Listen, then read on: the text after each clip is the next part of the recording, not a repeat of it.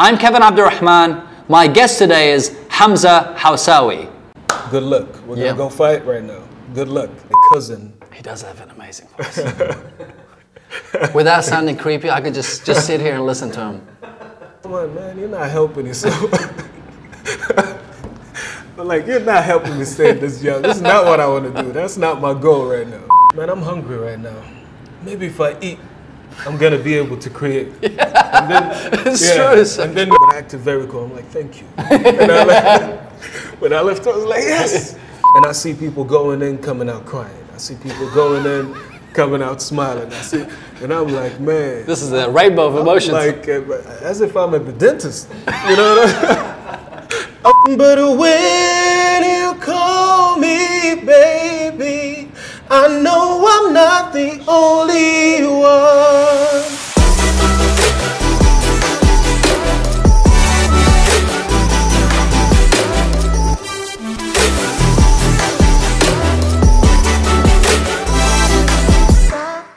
My guest today is a super fly guy. He's got the looks, he's got the smile, he's got the moves. And boy, has he got the voice.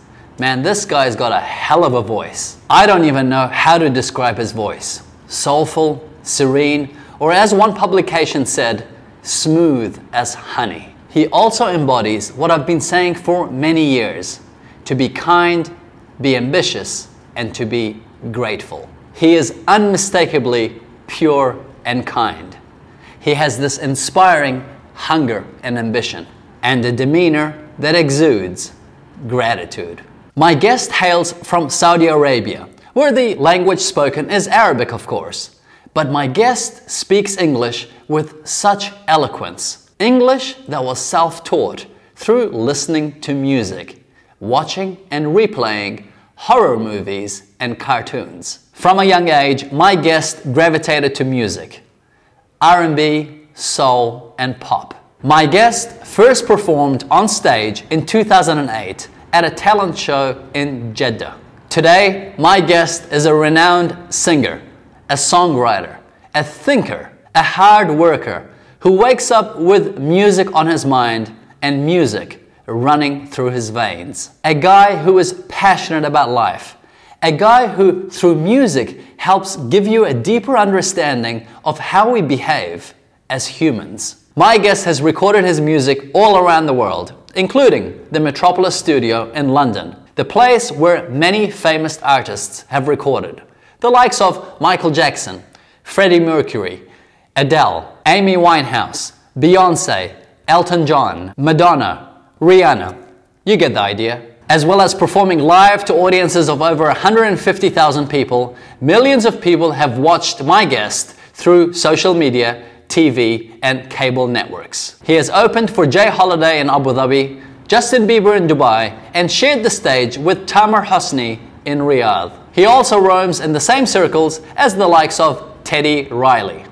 And if you know, then you know. We see a lot of him in Dubai and Saudi Arabia, collaborating with large brands for their ads, music videos, and live performances. The likes of Nike, Mobily, Maktoum Airport, Dior, and Apple Music. He has been featured on ET Arabia, The Insider, MBC, Dubai TV, Netflix for a show called The Flex, and many more. He is the voice behind many of the songs that we love, like Falling, Frame of Mind, Finding You, Love a Little, and many more. And yes, they're all available on Amazon and Apple Music. So after this conversation, make sure you go and show him some love. Now, remember when I started, I said, my guest has an amazing voice. Well, it wasn't just a personal opinion. In 2015, X Factor Arabia had a winner. The winner is the guest and brother I'm delighted to have here today. He has humility, he has soul, and he has news for you that you too can be inspirational if you choose to keep your mind receptive, heart welcoming, and eyes open. My guest is not just a current legend, but I truly believe that he's a legend in the making. The R&B kid of Saudi Arabia, the kid known by many as Ayzee, the kid you probably know by his signature phrase, the Jeddawi kid. The man whose voice resonates with a global audience. The man who wants to influence the world. The man whose message is if you have a dream, you can achieve it. The voice of life experiences, the voice that raises awareness, the voice of passion and possibility, the voice of inspiration. Saudi Arabia's voice of R&B, the voice that makes his country proud, the voice that makes us all proud, most important of all, and without a doubt, the voice that makes his mum proud. This is How Do They Do It? I'm Kevin Abdulrahman. My guest today is Hamza Hawsawi. Bro, I appreciate you making the How time. you doing, man? You good? Very good. Thank you for having me. I'm super excited to have you. Thank you, man. Um, one thing that really stood out for me was your business etiquette. The fact that you arrived early. Ah, thank you, man. The fact that when I sent you an email, you didn't reply with an email. You gave me a phone call. Yes. And immediately I was going, this guy is different. I'm glad you had your number on the email. You know, I put it there, we're in the Middle East. That's the one thing about the Middle East, everyone's reachable. Absolutely. Um, where did you learn your business etiquette? Experience, I guess. Yeah? Experience. Even though I studied a little bit of business in college before I dropped out Mm-hmm. because of music, but I never really learned that. But I think experience is the things that I try to find from other people Yes. that I don't get to experience, and I go like, you know what? I don't want people to go through that with me. So, what would you say were some experiences where you learned some lessons that perhaps could be of, of value to the viewers and listeners? Oh, Maybe like say three three business lessons or business etiquette lessons. let's see that sometimes when you have a deal with somebody Mm-hmm. and they want to cancel it they never verbally or through email tell you that That they're gonna cancel it. yeah they just want you to get it you know what i mean even though you're preparing something for them like when there is a show that's going to happen Mm-hmm. and uh, something happens that prevents that show from actually occurring but nobody tells you anything Interesting. a lot of things that has to do with finances you know because when it comes to an artist there's uh, there's like this general knowledge that if we agree that i'm going to come and perform you have to pay the certain amount Sure. and before i go on stage you have to pay the other Sure. but you get you get people that don't give you anything till three months after the show Interesting. uh, but these are all experiences that I had to go through in the beginnings. Yes. You know what I mean? Uh, a lot of people use exposure as a currency Yes. when you're starting. So this is a message to all the new artists. That's fine. But it comes to a point where, you know what? Exposure is not a currency. Because a lot of people use that. Like, I want you to come and perform at my show. Uh, there won't be any payment, but there are a lot of people. It's exposure. Just come through. Does that even work in this day and age where when you have YouTube, when you have Facebook, when you have Instagram? It does because a lot of artists want to go on stage. Okay. YouTube is amazing. We Yes. want to be on YouTube, but seeing the people looking at you, interacting And the with feel. you, that's different. So a lot of people use exposure as a currency, and they Yes. tell you, "But we won't pay you," even though they they might have the budget Mm. to pay the artist, but they go like, you know what? May, because especially in our region, especially like for example in Saudi, Yes. this thing is just starting. Mm-hmm. So a lot of artists don't really have the idea that this is going to be consistent. Yes. So there's a scarcity. They go like, if I don't go to this show, I might not get any other. Sure. So I'll, I'll go with exposure, cool, and somebody else get to pocket that money. You know what I mean? So to aspiring artists, because once you're established like yourself, people want you, you can command and say how, how it's gonna go. People try though. I'm sure they do. They still try. People try it with me. I have banks who post, you know, 10, 11 figures in terms of profit, and then they reach out to hire me and they go, We're, we don't have the budget. And I send them their quarterly report that says, You just do made 300 million in profit. What do you mean you don't have a Like, I- budget? I, was following your business. yeah, People still do that. they try, sure. But for for aspiring artists, people who are just coming up, What would be some useful business etiquettes that, you know, perhaps you would mm. tell Hamza Hawsawi at 20? Mm. Well, I need to know, like, it's, it's very practical and Yes. it's very detailed. Yes. Uh, I need to know how the stage looks like. Mm-hmm. I need to make sure that I rehearse on that stage at least for two hours, three hours, or two days before the show. Mm-hmm. I need to have a conversation with the audio engineers and the lighting engineers to understand exactly how I'm going to be presented and how people are going to look at it. Mm-hmm. At some point, we used to go to do shows, and we go on stage for the first time 10 minutes before performing. And then we get surprised with some things, like there is no mic stand. I need a mic stand, and because this is what I want to use for this certain song. You know mm-hmm. what I mean? It's very practical Yes. but it is extremely important. And if I wanna, if I wanna make that general into a lot of other things, just pay attention to the details. Which requires planning and preparation. Exactly. Yeah. Pay attention to the details, especially if you're gonna go in front of people. If you're gonna go on stage, you need to walk on stage. You need to look. You need to see Yes. how it is, right? Yes. You need to have a feel of it, even when you go speak. Yes. You know. what I mean? Absolutely. Yeah. Absolutely. You need to understand. I'm gonna look this way. I'm gonna look this way. I'm gonna look that way. Hundred percent. So preparation is very important and paying attention to details. What you say is interesting because when I'm working with clients, CEOs, world leaders, if they have the opportunity, mm. and in many cases, if they plan in advance, they do have the opportunity. I mm. always tell them arrive early, get yourself on stage because one of the also other benefits, apart mm. from preparing and making sure everything's there, your mind gets a feel for things. Exactly. Uh, Exactly. So that when it's actually time for game time, you've already been here. That's what your mind is telling you. We've been here. Yeah. Exactly. Exactly.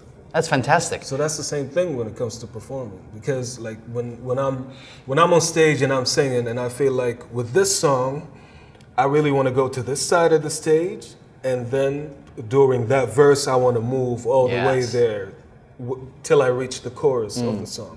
You know what I mean? And I have to plan it.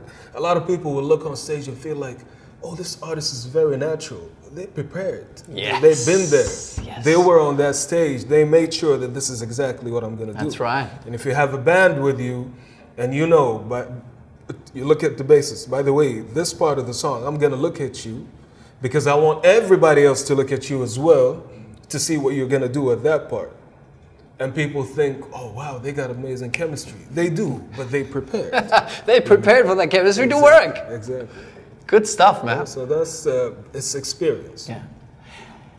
When you gave me that phone call, I, I'm on I'm on the phone all the time. It's just, Yeah.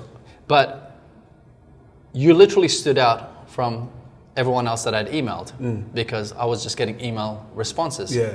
Even though I might have had conversations in the past, but you stood out because I sent you an email and you decided to respond with a phone call. Yes. Why is that? Because in my mind, Mm. you automatically stood out, and I have a feeling that you apply this in every aspect of your life. Yes, yes, absolutely. And I feel that it's a beneficial tip for our viewers and listeners. I feel like because you came to me with something different. Mm-hmm. And I was like, you know what? I don't want to respond via email. I want to make sure that this happens. And I want to get a feel of that person. Because I went and I looked up the things that you do, and I'm like, this relates to me. Mm. And I feel like I'm really going to connect with this guy. So let me give this guy a phone call. Because my manager saw the email and he's like, okay, I'm going to respond. I'm like, no, don't. Let me, let me give Kevin a phone call. Let's have a conversation on the phone. Mm. Let's get to know each other. And I feel like that phone call is really what made this happen. Yes. Because it's it's it was engraved in my mind. Yes. I was like, you know what? No, there is something. I made a phone call. I spoke to somebody, and I need to make this happen. Yes. So that's uh, to stand out as well. I appreciate it, man, because it really did also, yeah, engrave in my mind. Mm. And when I think about it, this is actually a powerful b- mm. business tip. Yes. It's easy to shoot out an email, but Extremely easy. one of the things I did to stand out in business is I make my number available. Mm. And often when event planners or event organizers, Yeah. they're at a stage where we know, okay, they're serious and we need to do a booking, I'll actually get on the phone and call. Yeah. And to the shock of many, I'm not sure why, but I'll use it until it becomes the norm. Yeah. They're like, is this Kevin Abdulrahman? I'm like, yeah. They're like, oh, I never thought I'd speak to you on the phone. I'm like, we didn't expect this. That's what they said. hello. That's very true. Because my mind is, I'm in the business of communication. Mm. You're hiring me as a motivational speaker. Exactly. Well, let me talk to you. Exactly. You will see the skill set in action. And there, there, are, there is power in words. Yes. Oh, you know it. Yeah, there is power in words. Like I can, I can give you a whole speech written down about motivation and about strength and about success, but I can give you just one paragraph and I will voice it to you, and Yes. it's gonna affect you even more than what you read. You know what I mean? It's it's vibration. Yes. If if you hear it, if you hear that tone, if you hear that uh, conviction in the voice, Yes. it's gonna leave an impression. So I really believe in that, especially that I sing. Yes. So I truly do believe that there are, there is power in the voice. Get inspired. Whether you're in Dubai for business or pleasure, the last thing you want to do is blow your budget on accommodation, which is why I recommend you check out our host venue partners, Rove Hotels. Beyond being price sensitive, what I love about Rove Hotels is the fact that they are a combination of cafe, culture, and just coolness. Even my guests, many of them, when they arrive before we record or after we finish recording the podcast, they actually comment. They go, wow, this place is cool. The vibe is amazing. And it is amazing. So, if you're in Dubai for business or pleasure, I recommend you check out our host venue partners, Rove Hotels. This episode is brought to you by M Dojo. Whether you're in business or new to business, you need three things a good website, traffic, and being able to convert that traffic into paying customers. That's what MDojo does best. They're able to create for you a functional, state of the art website, drive targeted traffic, and put in all the elements needed in order to convert that into paying customers. Isn't that what you want? Of course it is. Give the team at MDojo a call and see how they can help you increase your sales and profits. Tell them I sent you. Their website, mdojo.co. How did you develop your speaking voice? Because I think that's something that hopefully you could have some tips for our viewers That and is a very interesting question. Uh, I think that started at an early age, but it wasn't even the intention. Okay. It wasn't even the intention to actually develop a speaking voice. But me and my cousin, He does have an amazing voice. Without sounding creepy, I could just, just sit here and listen to him.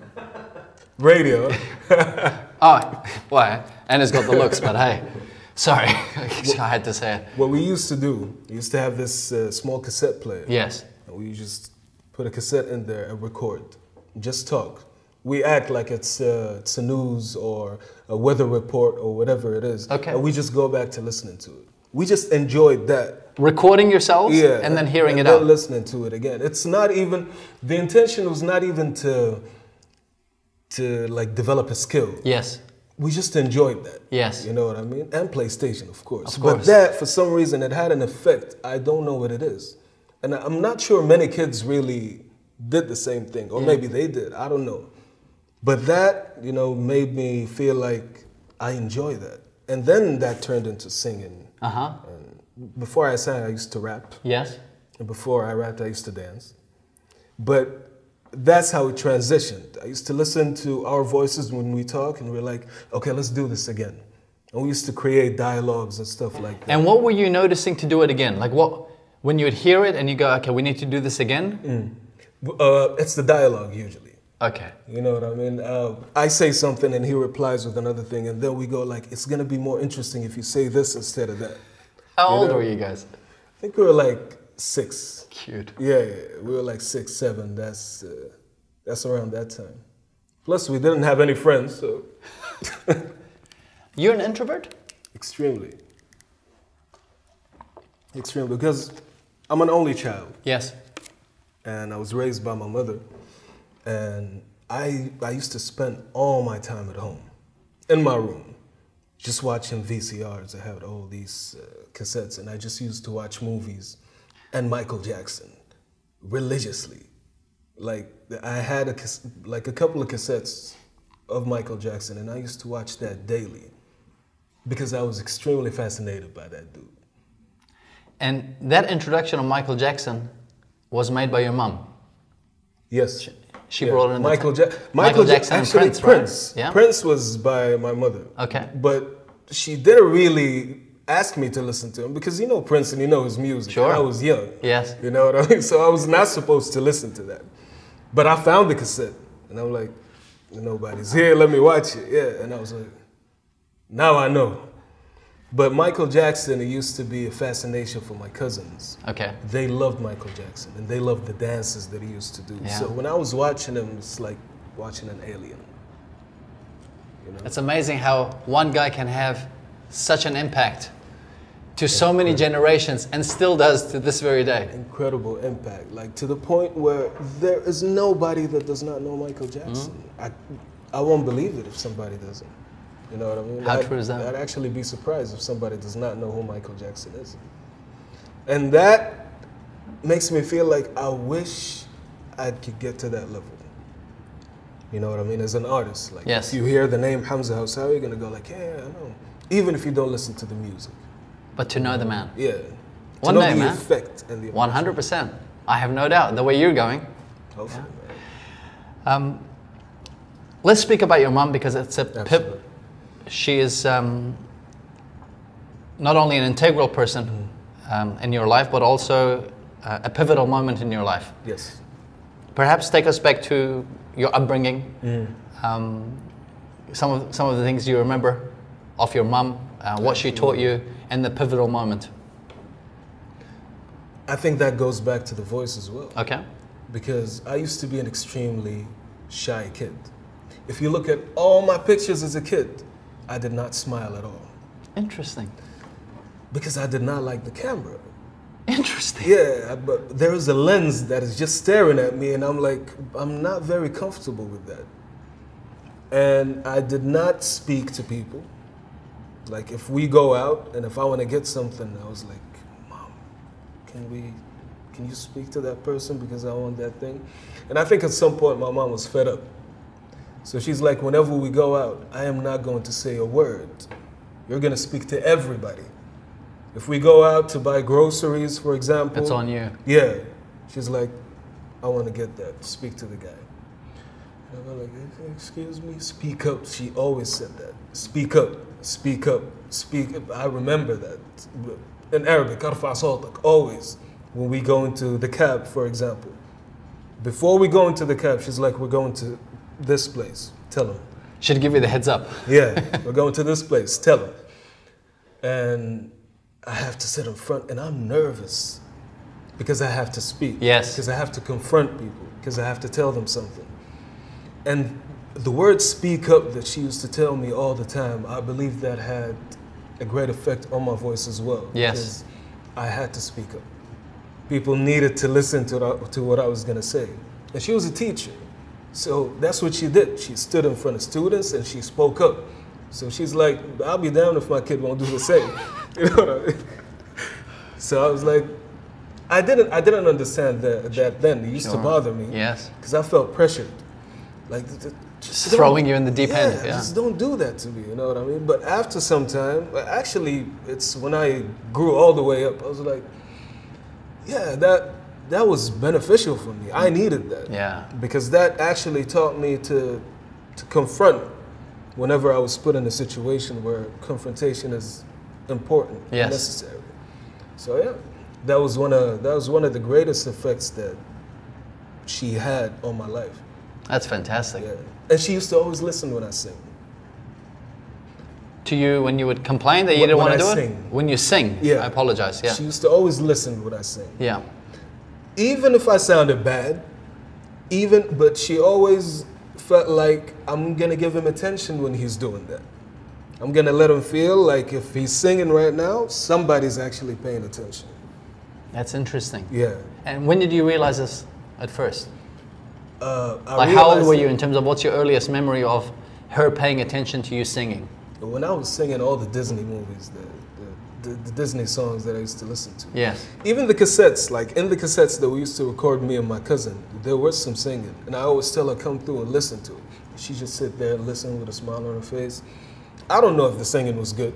I have no idea. But she gave you the attention. But when she gave me that attention, I felt like, okay, maybe this is something that that's good.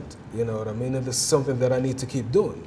And she used to give me tips here and there what I need to do when I speak on, uh, like when we used to do these dialogues and stuff like that. So that attention really, really, really worked for me, and it it encouraged me Yes. Yeah. Yes. to, to get to this point. It's amazing that we don't give. This is overlooked. Mm. We don't realize how powerful giving attention to someone, especially when they're starting out, or not even realizing that they have this talent or potential. Exactly. But how much the attention could actually help harbor or manifest or develop them. Give them the very true. confidence. That is very true, and especially like as a kid growing up, these things are very important. Yes. Because these are the things that are gonna create your personality throughout the years. Absolutely. Yeah. She's no longer with us now. God rest her soul. God rest. Um, how do you deal with that, or how did you deal with it, especially being so close? Um, I'm blessed to still have my mum, uh, but I lost my father uh, when I was 24. Um, it's not easy. No. So, if, yeah, I guess for someone who's lost a parent or a loved one, um, how did you go about dealing with it, or you know, I what would you say is an 17 at the effective way? It's quite young. I was 17 at the time, and God rest her soul, she lost a battle with breast cancer, which is it's a vicious disease. Yes, it's difficult. Yeah. So for all the ladies out there, get checked up. yes, 100%. all the time. Yes. Always. Yes. Do not neglect it Yes. at all. And my mother was very strong to the point where nobody knew that she was struggling with that. Nobody. She did not tell anybody because she did not like the idea that somebody may pity her or Yes. something like that. And when it happened, when I received the call from the hospital that told me to come, to, to go to the hospital, I knew. I knew something was up. And I think at that moment, I knew that I lost my mother. And we had so many plans about so hmm. many things that we wanted to do. And there was a shift. That was a big shift in my life because all the things that I had lined up and the things that I wanted to do were actually connected to my mother or connected to her advice or the things that I wanted to do.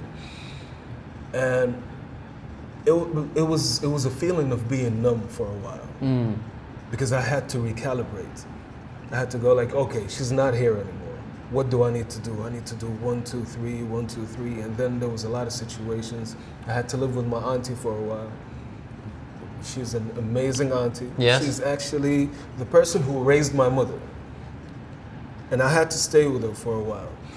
And that was around the time, actually, that was when I graduated high school and I had to go into college. But at the same time, I realized that I had to get a job Yes. because I did not want anybody to spend money on me. I felt like, You didn't want to be a burden. exactly, I felt mm. like I didn't want to be a burden. I felt like I need to get a job. And then when I got a job, I did not really focus in school as much because I felt like I need to keep this up because I need to support myself. Sure.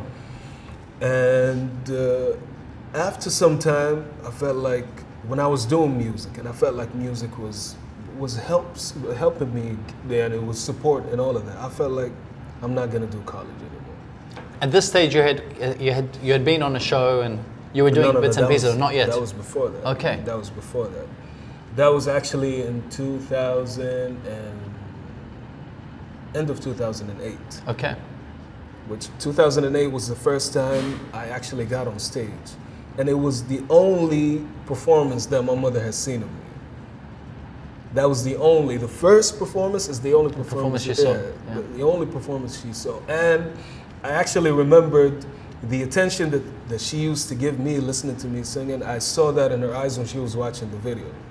So to me, that was a big push. I Yes. was like, yeah, that's, this is the way that I want to go. And after some time, I decided that, you know what, I'm gonna go out on my own. Mm-hmm. Spoke to my auntie, I'm like, I'm just gonna go out on my own, I'm gonna live by myself, and I'm gonna support myself and do the things that I really wanna do. And then that happened. Mm. And after some time, we got to X Factor. Yes. And it was it was actually a very it was a tough decision to make because every step that I made, I always remembered my mother. I was like, okay, what would she agree with? What would she be okay with? What hmm. would she tell me to do at that time? And I remember her watching me perform in 2008 when I showed her the video, and I knew that she would want me to follow my passion, So in essence, you were using her spirit as a sounding board. big time. Yeah. big time. Like it was, it was a, a huge impact losing my mother. But at the same time, it made me really understand what life is. You know what I mean? This is life. It, it- death is a part of life. But at the same time, I felt like she gave me the tools to navigate. Yes. Whether it's an actual advice, whether it's her words, whether it's the, the, the scolding, whether it's uh, just remembering her personality in my mind and having hypothetical conversations with her Yes. as, as an adult. Yes. I go like, if I had this conversation with her now, from what I remember from her, This, is how it would go. Yeah, this is how it's gonna go, and that helped me a lot make those tough decisions. Get inspired. One of the questions that I get frequently asked is, Kev, how can I increase my motivation? We see great individuals, we see achievers, like many of the guests that I'm bringing on the show. They have the energy, they do so much, they're in a state of flow. How do they do it? Well, my team and I have released an article which I've made available on kevinabdulrahman.org forward slash blog, the ultimate biohacking guide to increasing motivation. Or you can simply Google Kevin Increase Motivation and the article should pop up right at the top. It's absolutely free. Read it and most important of all, take the bits and pieces that are relevant to you and apply it into your life to increase your motivation. I hope you find the article of value. If you do, feel free to leave your comments and also share it with your circle of friends. Again, you can Google it, Kevin Increase Motivation. It will be the first link that pops up or on my website, kevinabdulrahman.org forward slash blog. Ta- could you take us through one of the one of the decisions you had to make? The reason I'm asking you this is because in life we're all faced Yeah. with tough decisions all the time. Um, just wondering, do you have a process um, that you go through when you're when you're thinking, okay, I have a job and I have this thing called singing. Yeah, This pays the bills because there's a landlord who doesn't care about your passion. exactly. what they care about is pay the rent. Yeah, And then there's this thing that's this is what I'm gravitating to. yes. A decision like that, what, what, are you, what are you thinking about? And I'm just hoping that perhaps, you know, the, Mm. the, with the people that resonate with your voice, um, it could just help them to consider what, what do they need to think about or what did you think about? I didn't make that decision alone. Okay. I had to get advice. I had to call up the closest people that I have in my life, my friends, and get the advice from them. And it was very divided, like 50 50 divided. So unhelpful. Like, exactly. Like people who actually really, really, really cared about me told me, go ahead.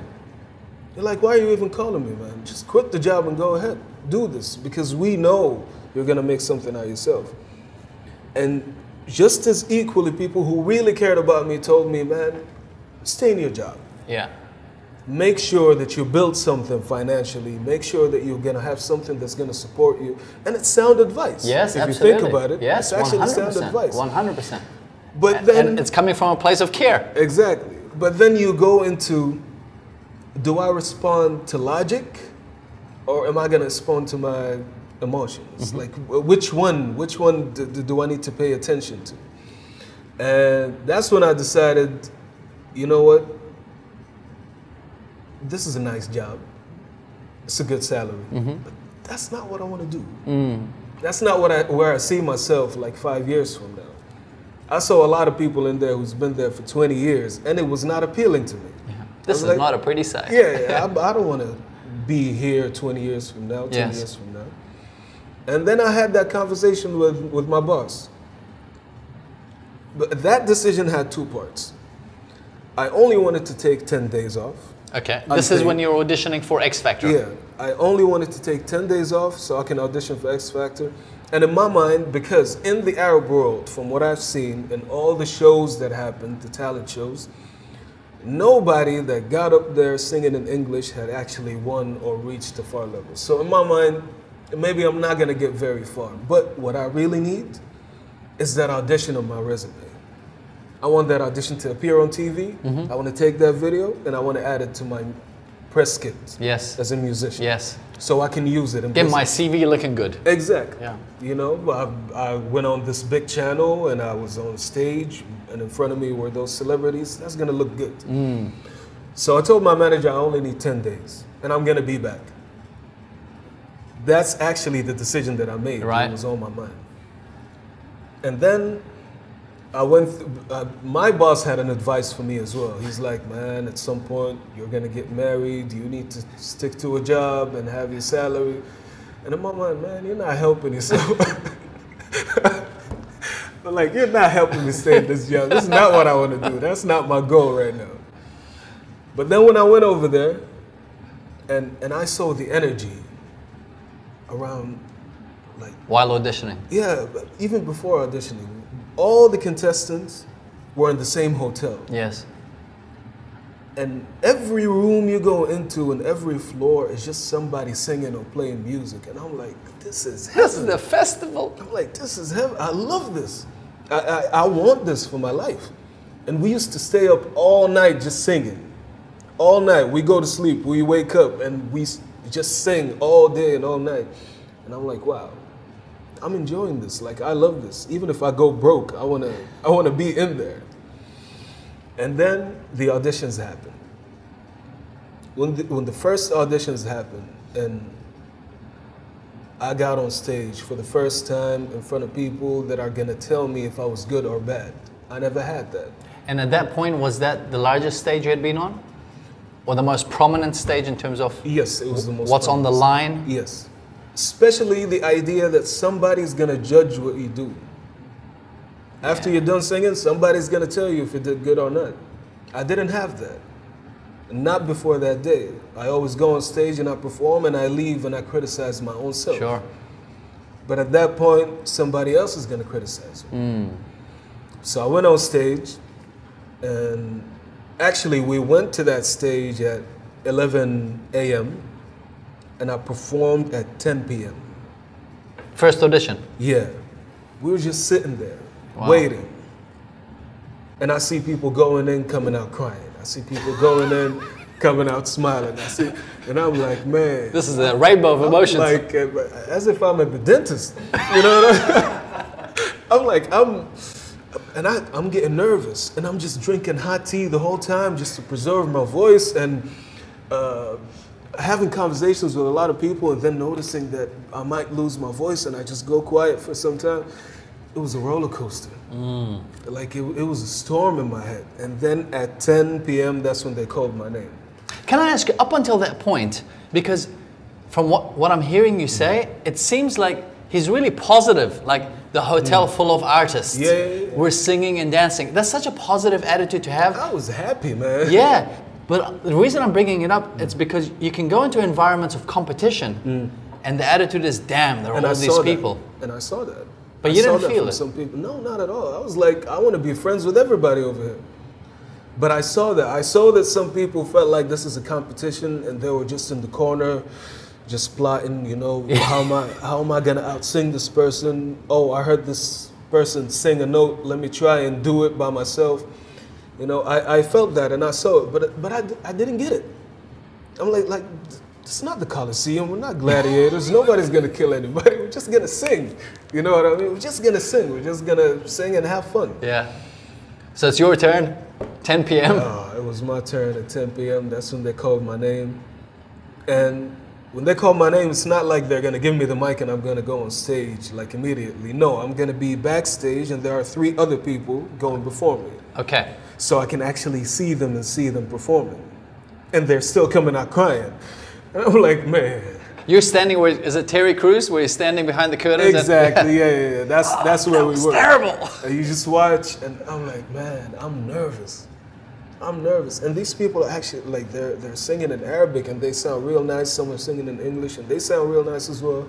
And they're just telling them off like, nah, we can't do this. Nah, it, it didn't sound real nice. So I'm like, All right, thanks for the warm up. I'm just taking deep breaths. I'm like, man, what am I gonna do? I'm just gonna go up there and I'm gonna have fun. I'm like, I'm gonna do my best to make sure that this audition goes on TV. Was that the plan, Hamza? Yes, that was the plan. Let's stick to the plan. Let's stick to the plan. And then I went on stage and I performed. And I think I did Sam Smith, uh, You're Not the Only One. I think that's the song that I did. And after I was done, the music would like stopped. Could you give us a couple of verses just for my own, just for my own pleasure? Oh, one second. Let me remember. Yeah, yeah, it's all good. Just for, Uh, this is purely for Kev's pleasure. He's got an amazing voice. Only if you want to. Uh, oh, I remember. You say I'm crazy, but But you don't think I know what you've done. But when you call me baby, I know I'm not the only one. Man, whoa, That deserves a dap, man. Thank you. man. now I got tingles. God, So- goosebumps.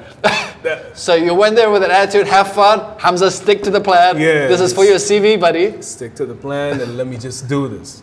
And I performed that song.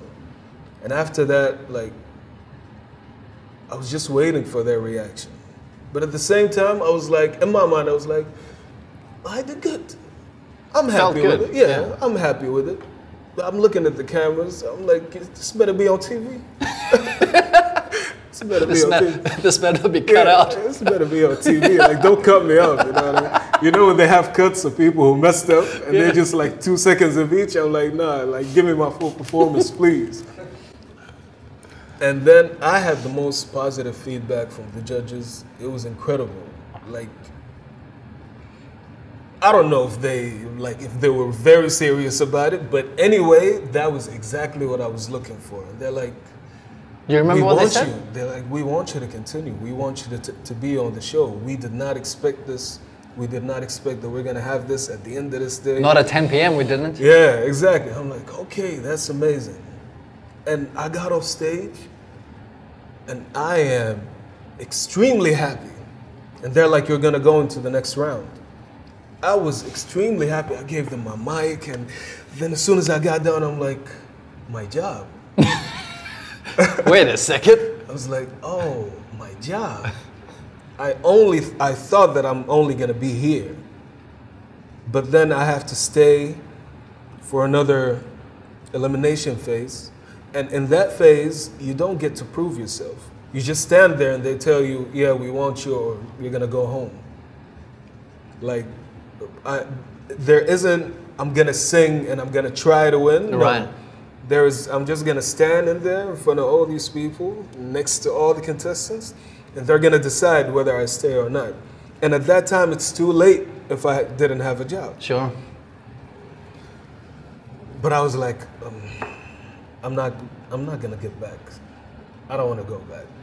And you were willing to make that sacrifice. Yeah, I was like, I'm not gonna go back. Even if I don't get chosen. If I don't get chosen, I'm gonna go back. I'm gonna eat breadcrumbs for a couple of months, and I'm gonna find another job. But this opportunity, I'm not sure I can find something like that again.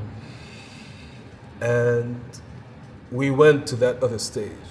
Mind you, at that time, I did not send an email to my boss. I did not receive a call. I didn't even answer the phone. I was like, I'm not gonna say anything. This is the business etiquette you don't take. Exactly. That's exactly what I was gonna say. I did not send an email. I was like, Oh I, dear. I was, I was just too nervous. I was too nervous to actively make that decision, even though I know past those 10 days, In I'm your out heart of a you job. knew. I'm out, I'm out of a job. I know that for sure. Yeah. But I did not actively want to make that decision. I didn't want to speak it into existence. I didn't want to call my boss and tell him I'm not coming back. I didn't want to do that. Like I wanted the world to make that decision for me, which is something that I learned later on that I shouldn't do. Sure. Yeah. You know what I mean? Even if you know what what the outcome is going to be, if it's in your hand, take the action. Sure. If anything, it's just going to add to your character and your personality. So we got to the other phase. And in the other phase, we just stand there And they and, pick. and they call the names. And you make it through. yeah, I think we were we were 36 and only 12 were going to make it. And we were just standing there waiting. And you know, they got to use that suspense and all Sure, of that. yeah, and they're just looking at each person and uh, making you nervous, and everybody's sweating. And then they called my name, the first name. I was like, that's it. I'm good. They called that Hamza Hawsawi. I'm like, yes. But I acted very cool. I'm like, thank you. and I when I left, I was like, yes. But then I knew I was like, yeah, this is this is where the journey begins. But that moment made me realize that you know what this is this is interesting just going through something like that doing something that you love and going through that emotional pressure of not knowing uh, like whether you're gonna make it or not, it's necessary. It's necessary because if you made it, you're gonna cherish it. Even if you didn't, you're just gonna have that memory, and it's gonna it's gonna affect, hopefully positively, Yes. all the decisions that you're gonna take on. Kind of like when your mom put you in the front seat. Exactly. Speak up, buddy. Exactly. Exactly. Yeah. The pressure cooker. So when that happened, I knew that I made the right decision by quitting the job. Hmm. And then I was like, I'm just gonna go on from now. While you were there, what did you develop to become hmm. a better artist or to become better? I ask this because you've got the tagline student of arts, Yeah. life, and business. Hmm. Did I say it in the right order? Yes. Yeah. And so I, was going to c- come to it, and perhaps we can come back to it again at some point and, and mm. visit that tagline. But throughout that process, what did you learn? Like, what was the kind of feedback? What did you develop to get better? Because you became mm. remarkably better. Let's talk about art, Sure. since we have these three taglines. About art, when it comes to that experience, it was it was the, the the time that I was most exposed to all these musicians, and these different voices, and these different people who play different instruments. I heard things in front of me that I did not imagine that I would hear coming out of a person that's sitting right there in the same room. And I'm like, I want to sing like that. I hmm. want to use that skill, you know? This It's is just- different artists. yeah, it's just like when you when you're listening to somebody speak and they use a very interesting word and you're like, I'm gonna use that. Yeah, yeah, that's a real nice word. I want to use it. It's exactly like that. And seeing all these artists on stage, how they move and how they hold the mic and their facial expressions, I'm like, I'm gonna copy that. I'm gonna take that and I'm gonna make it my own. Uh, listening to and watching how they write, because a lot of them were just sitting down, writing songs. They're playing the guitar or playing the violin. One guy was a beast on the violin, and I just hear them freestyling with each other, and it looks it looked like these people knew each other for years, but they only just met. And musically, they're just very in tune, and the chemistry was incredible. And I, I learned that too. And I'm like, if I'm ever gonna be with a band on stage, I need to make sure that the chemistry is there. Mm. I need to make sure that we actually connect as people mm. and then as musicians. In terms of the business, I, it was a lot of media training because we had to be on camera maybe three to four times a week. That's minimum. Yes. We always had to be on camera to speak about everything, anything that happened. Two people had an argument, we need to sit in front of the camera and talk about it. We went to, to a shop to get some clothes, we need to sit in front of the camera and talk about it. We had a good experience this week, we need to sit down and talk about it. We had a bad experience, we need, you know what I mean? And every time you need to articulate yourself differently just so you won't sound repetitive. Yes. So that was a lot of media training. And they would tell you, we want you to say this and that. We want you to say this and that, but say it your own way. And uh, they ask you a question, and then you start answering, and then they're like, no, you need to repeat the question and then answer, because the interviewer's voice is not going to be on the camera. So whoever's watching needs to know what are you going to talk about. So that was intense. Yes. But I enjoyed it. I really enjoyed it. I'm like, th- these are some skills that I'm going to use later on. Now let's go to life. Mm. I made friends that I still speak to to this day. And I know for sure that we will remain friends till, you know, forever, hopefully. And did you have character realizations? You know, because sometimes, and actually often, we realize more about ourselves or we Yeah. become more self aware because you seem like a self aware person. Yeah. It happens usually when we're put in pressure or we're put Yeah. in, you know, these kind of situations. Yes. What did you realize about yourself? I realized that I am competitive, mm-hmm. but at the same time, it's not in a, in a malicious way. Mm-hmm. It's not in a way that would create enemies. Mm-hmm. I realized that it's just like before you go into a boxing match, I would just tell you, good luck. We're Yeah. gonna go fight right now. Good luck. I'll beat you up. Exactly. I'll beat you up, but we'll smile about it. yes. And then we're gonna go and we're gonna have that fight. And when we're done, I'm gonna tell you, good job. Yeah. You won, or good job, I won. Well, maybe we're gonna do this next time. Sure. I learned that. And to me, that is an that is an amazing skill to learn for anybody or for any artist because you need that energy. Yes. Because as artists, we need each other. Yes. We need each other. You know what I mean? A lot of people view that as if I'm an artist, my competition is my enemy. But that's not the reality. They makes you better, man. Exactly. Yeah. You know what I mean? At some point, I want to sit with my competition. I'm going to tell them, look, you do something that I don't do. I want to learn that from you. Mm-hmm. And if there is no kindness between you and that person, that person is not going to give you anything. Sure. You know what I mean? And you might end up with a friend. You never know.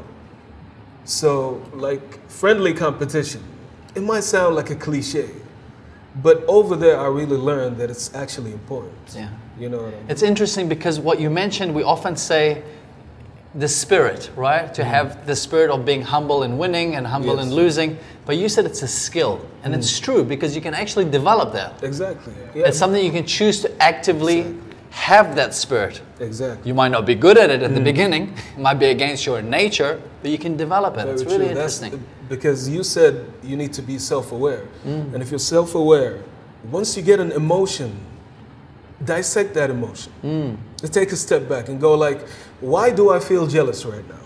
Mm. Think about it. You're gonna go like, maybe I feel jealous because one, two, three. Maybe I feel like this person is gonna take an opportunity from me that I want. Maybe this person is gonna look better than I do in front of the camera. Yes. And then when you think about these things, you're just gonna realize that it's not really a big deal. You know what I mean? So being self-aware is important. So yes, it is a skill because it's something that you need to go back to. You mm. need to have a checklist. Why am I feeling this way? Whatever the feeling is. Why am I feeling happy right now? It's because of one or two, three. So you can actually recreate this experience and be happy more more times than often. Mm. You know what I mean? A lot of people say, "Man, I don't know why I'm feeling this way." It's, it's because you don't take a step back and actually try to like get the strands of those feelings out and try to understand why am I feeling this way? What what happened before then? What do what do I feel is going to happen after if I remain in that? Yeah, you got to take the time. You got to go through it. It's painful Exactly. because you're not going to like the answers at the beginning. exactly, but it's necessary. Yes. It's very necessary. And no one can do it for you. It's like a push-up. man, because you're the you're the only one here, and you're the only one here. You know what I mean? People can perceive things, but you're the only one that's actually generating these emotions and mm. these thoughts. Mm. So yeah, being self-aware that's that's very important. Was there anything that you learned while you were there in terms of mm. tips, advice that you were given that you felt was critical to you winning? Uh, yes, there were actually a lot, especially on stage. Again, for people who, who want to sing, and even for, for people who, who like speak, Sure. uh, you divide your attention because you're on TV. It's not just the people. Yes. It's the people and the cameras. Yes. So you need to divide your attention. Sometimes you need to pay to pay attention to where the red dot is on which camera. Because if you want to deliver a certain word, you want to look at the camera and say it. Because just as there are, let's say, 500 people on that stage, there are millions watching. So you want to connect with those people. That's too. right. You know what I mean? And with the judges as well. You want to pay attention to them. If it's a happy song, smile. If it's a sad song, make that expression. Enjoy the song, like even physically, be Yes. expressive. Yes. I learned that a lot over there because from what I've seen from the people and from watching myself again. Mm-hmm. Because as soon as we're done with the show on Friday, we run to the hotel to watch the rerun. I don't do that with the guys. For some reason, I don't like it. I like to watch the whole show by myself. Yes. You know what I mean? I, I want to criticize myself. But they always like to sit down after the show and watch the whole thing and go like, yeah, I messed up here. No, I should have done that there. So I learned that doing mm-hmm. that. Going back and watching the things and understanding that when I'm on stage, the attention is on me. So I need to give it back. Yes. You know what I Well mean? said. I, I, I need to look at the people. Sometimes I need to look directly into somebody's eyes. That's right. And, and deliver that emotion. Because Mm. at the end of the day, they might go home and go like, wow, that moment was intense. Mm. Especially if somebody's nervous. That is a technique that I learned. If if I was on stage and I'm nervous because people are looking at me, I would look at somebody and make them nervous. Here's the hedgehog. Here you go. Exactly. Take it. You don't like it, do you? You, know what I mean? you do that. You, you you give it back, and then actually sometimes when you see the discomfort in somebody, when you look at them, you go like, "Oh, okay, now you know how I feel, and it boosts, but like it gives you more confidence. Yeah. Like okay, I made that person feel nervous. Sometimes if you make somebody else feel nervous, it makes you feel more confident. You know what I mean? I know it sounds evil. So sad. Yeah. Oh, like, so sad. You know, when you do that sometimes, and you understand that you reflect the emotion, you Sure. mirror the emotion. Yeah. You see somebody that's smiling and you smile back. But when you do that, it's not only that person that's seeing you smile, it's everybody else in that place. And you try to reflect that. And sometimes you go on, on a stage where you are so powerful that people are going to mirror you. Mm. But sometimes you're going to be in a situation where you're going to mirror the people. yes. So you need to be strong enough to switch that. Yes. You know what I mean? Like you're going to go into a place where the AC was not working the whole time, so everybody's just sitting there. It's like, got nothing to do with you. yeah, It's nothing just to too do with hot, mate. Too hot, Exactly. Yeah. And you go on stage and you just see everybody just uncomfortable. You go like, man, how can I switch that? Mm. And then you try to find those techniques to switch that. But you can even comment about it. They're like, man, it's hot in here, right? You know what I mean? So when people go like, hey, oh yeah, he's feeling what I feel. Yeah, yeah, it is. You know what I mean? That's when they pay attention to That's you. right, yes. And then you grab their attention and run with it. It's interesting because what you've mentioned are techniques that I share as a public speaking coach. Mm. Yeah. Like, there's an elephant in the room, it's hot. Well, say it. Don't Let's act like it's all okay. It's not okay. It's hard. exactly. we, we did an interview where there was issues with the rooms or bits Mm. and pieces, and we weren't sure whether we were going to be able to do the whole Yeah. interview or not. Mm. And most people, or maybe the younger version of me, would be like, okay, well, let's just run with it, and then when it happens, Mm. it happens. And then we'll try to explain it to the, to the guests there, there and then. Ah, yeah, yeah, Man, yeah, I get what you you get to a point in life, or hopefully you get to a point in life sooner than later, Mm. where you're just comfortable in your own skin. Exactly. Before we even started, I was like, hey, things for whatever reason hasn't panned out. At any moment, we could get kicked out. Mm. Yeah. So just so you know, in case this interview is cut short, Let's be ready. We're gonna go and get coffee and croissants. Yeah. That's gonna be the worst case scenario, and we'll just have to reschedule. I mean, it didn't happen, mm. but I think the fact that we were just so open about it, yeah, Yeah. we had, we, we just laughed about it. Like it, it creates a connection. Yes. Instead of you just sitting thinking about it, like, man, somebody is gonna come and kick us out. This person does not know what is that gonna do.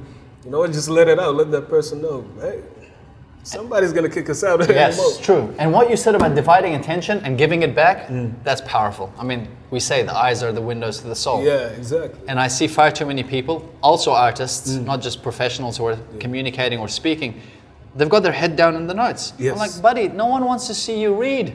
Exactly. Or they got shades on, especially artists. Yeah. It's part of the style. I got shades on, but people are not are not gonna connect with you. And, it depends. Sometimes you're gonna go up on stage and they're gonna perform a couple of songs that are very upbeat and they do not require that personal connection. Yes. Yes, okay, put your shades on as a, as a singer, cool. But if you have a song where it's very emotional, That's right, and you want people to understand Yes. it, uh, but no, you got to be candid. 100%. If, if it makes you feel uncomfortable, that's cool.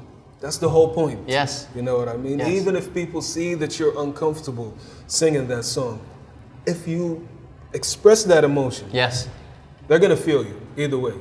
And when you're off stage, they're gonna come to you and gonna go like, "Man, I really love that song." Maybe it's not the song; it's the connection Yes. they felt. you know? It reminds me of something you said about um, how today we live in a world where things, you know, you take so many takes when you go into the recording studio. There's auto tune, there's takes. you Mm. Yeah, can yeah, you can get it to a place of perfection. And you like the thing about the 70s and 80s is because it was all one take. One take. You could hear the imperfections.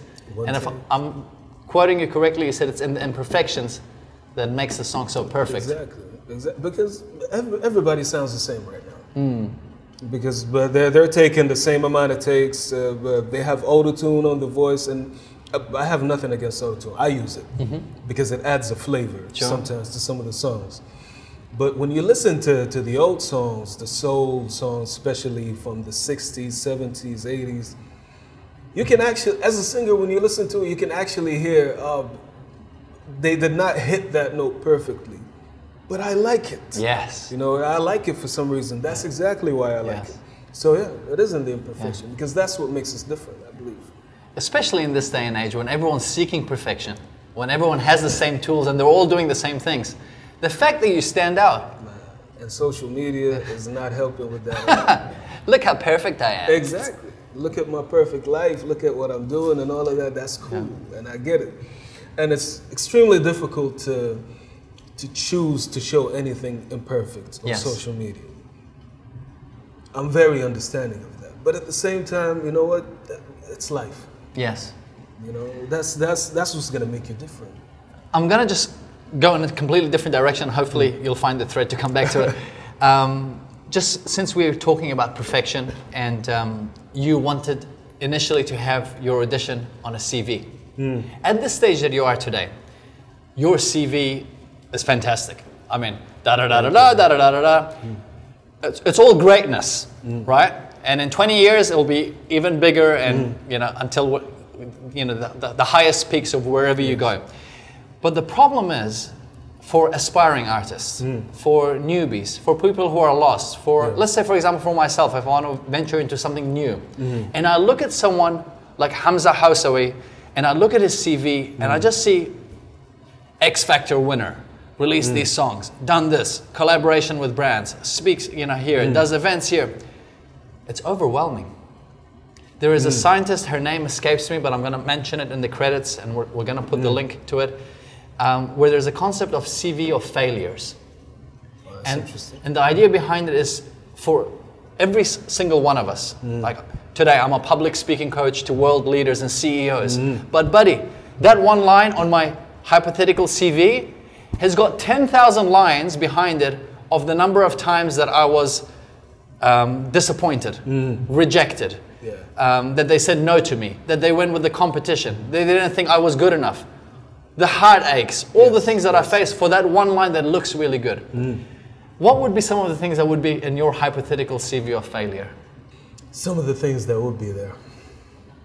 I'm in just the hope that whoever is watching this, whoever is listening, can go, it's not all just sunshine. It's not. It rains. It's not. Even in a city like Dubai, it does rain sometimes. One of the biggest stages that I've performed in was in Riyadh, Saudi Okay. Arabia. Yes. and it was it was spanning through three days, and every day we had fifty thousand people Wow. coming in. So it's a lot of people who came in, mm-hmm. no tickets. It's an open event, mm-hmm. so you can imagine it's all walks of life, Yes. not just somebody who's willing to sit there and listen to you sing in English. I got booed all three days. Oh, that's not easy, man. Three days, That's that's not that's not fun at all. not at all, not at all. But the first day, it was a surprise. The second day, I was like, you know what, I'm gonna enjoy this. I'm, I'm gonna enjoy it. I'm gonna take that.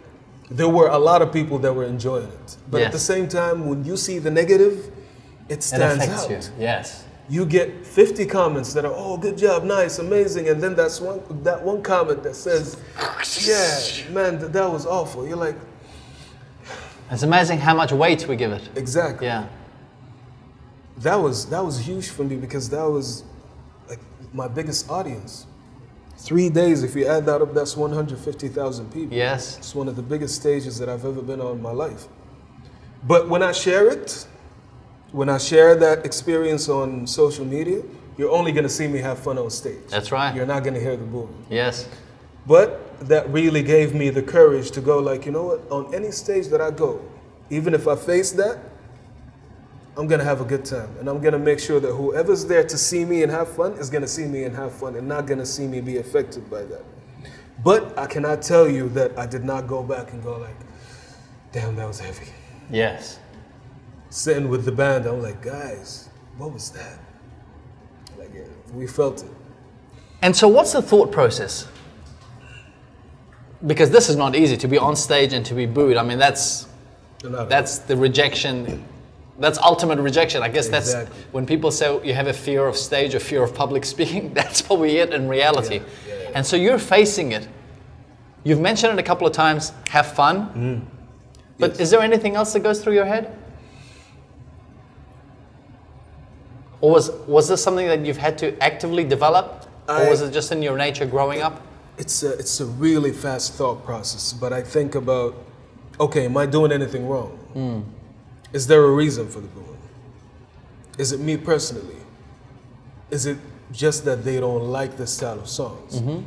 And it's very fast. It's a checklist, real quick. Seconds. Yeah, and then I scan.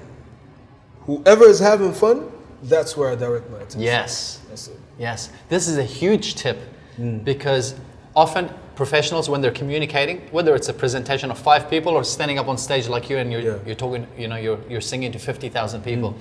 we make the mistakes like the likes on social media where we let that one person affect us so much when there's 49,000 people having fun. Exactly.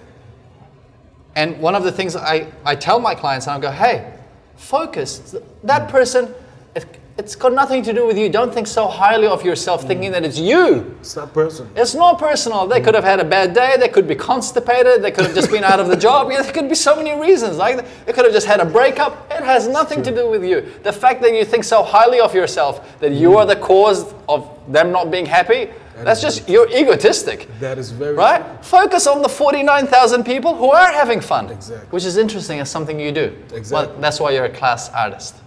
And it's it's very amazing that it actually goes back to ego, just like you said. Mm. You know what I mean? If you take that personally, then you need to check your ego. Yeah. That person does not know you. They don't know who you are. They don't know the the kind of like life that you had or whatever it is or what you had to go through to go on that stage. Just like you said, maybe they had a breakup. Yep. Maybe they're just not having a good day. Sure. Maybe they just feel like, you know what, I'm mad, I want to make somebody else mad. Yep. You know? So yeah, that's true. It's it's it is about ego. You go back to that and you go like, you know what, this is not personal. Mm. I just gotta do what I gotta do. If I am on stage, if somebody asked me to come here and do this, let me at least do it for that person. Yes. At least. Yes. You know what I mean? Who who really believed in me enough to go like, I want you to go on that stage because I believe that you're gonna do something good. Mm. Unless they wanna set me up or something. Friends playing jokes. Exactly. As an artist, and you know whoever's watching and listening to this, they could be doing, you know, because an artist there is a million ways to be an artist. That's true. But as a singer, I guess, as a singer songwriter, for many it's a goal to have a record label.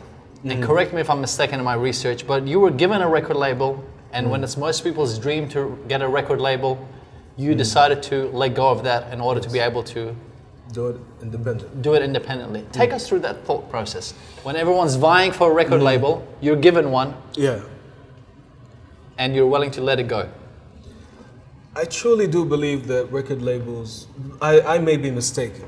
I may be mistaken, but it's it's like common knowledge between all artists that record labels made sense at some point, but right now they don't. Because what is the main goal of a record label? Is to put you out there. That's right. Accessibility, distribution, that was the point, right? But now we have YouTube, we have Instagram, we have all these platforms where people actually became extremely famous from their bedroom. That's right. They did not need a record label. Number two, a, a, a record label is going to facilitate a studio for you. They're going to take you to these bigger studios and they're going to record uh, with, with amazing musicians and all of that. But right now, you can go to Virgin Megastore and buy a mic, buy a sound card, and record at home.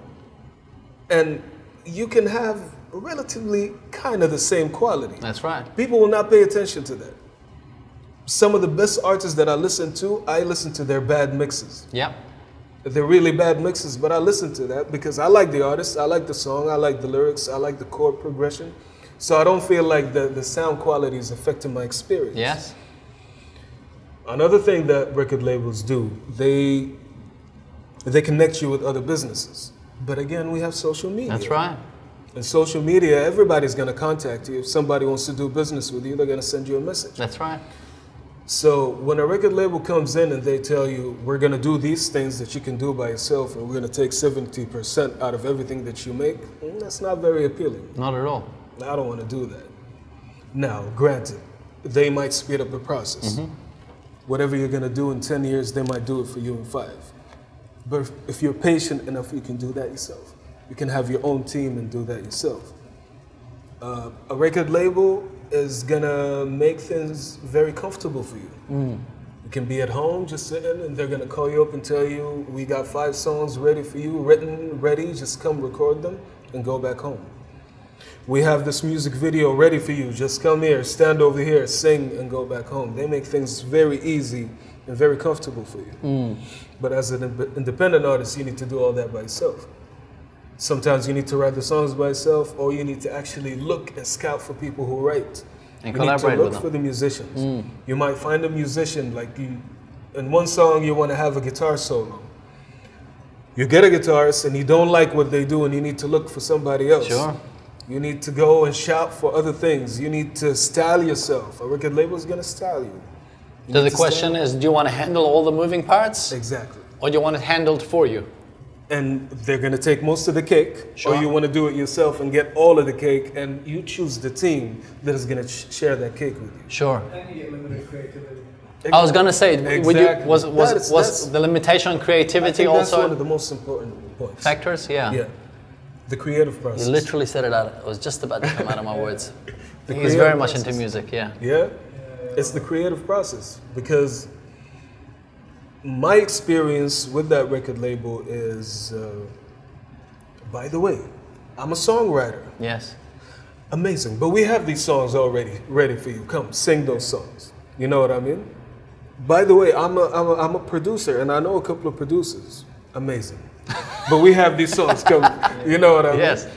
And they take the lead in everything that's creative, and they have the authority to tell you, no, we don't like that. Hmm.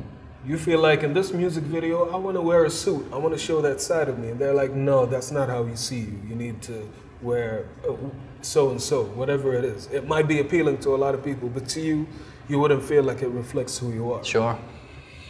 So being independent, it's not easy Sure. Because you're gonna have you're gonna have to choose your own team. You're gonna have to go through a lot of people that are that that won't be good for you. Of course. And I had I had to do that. I went through that. I, I worked with a lot of people that by the end of two years I was like, you really did not benefit me at all. And two years have like flown by. That's I need right. I need to move on. You know what I mean? A record label will do that for you.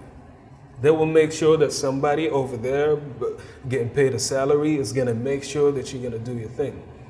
From, from the experience you've had, if you're looking for people today, knowing what you know today, mm. what filters do you have now in place to save yourself time? Because I mean, this is a challenge mm. we face recruiting anybody. Yes. Video editor, mm. uh, sound engineer, lyricist, someone to help you with marketing, PR.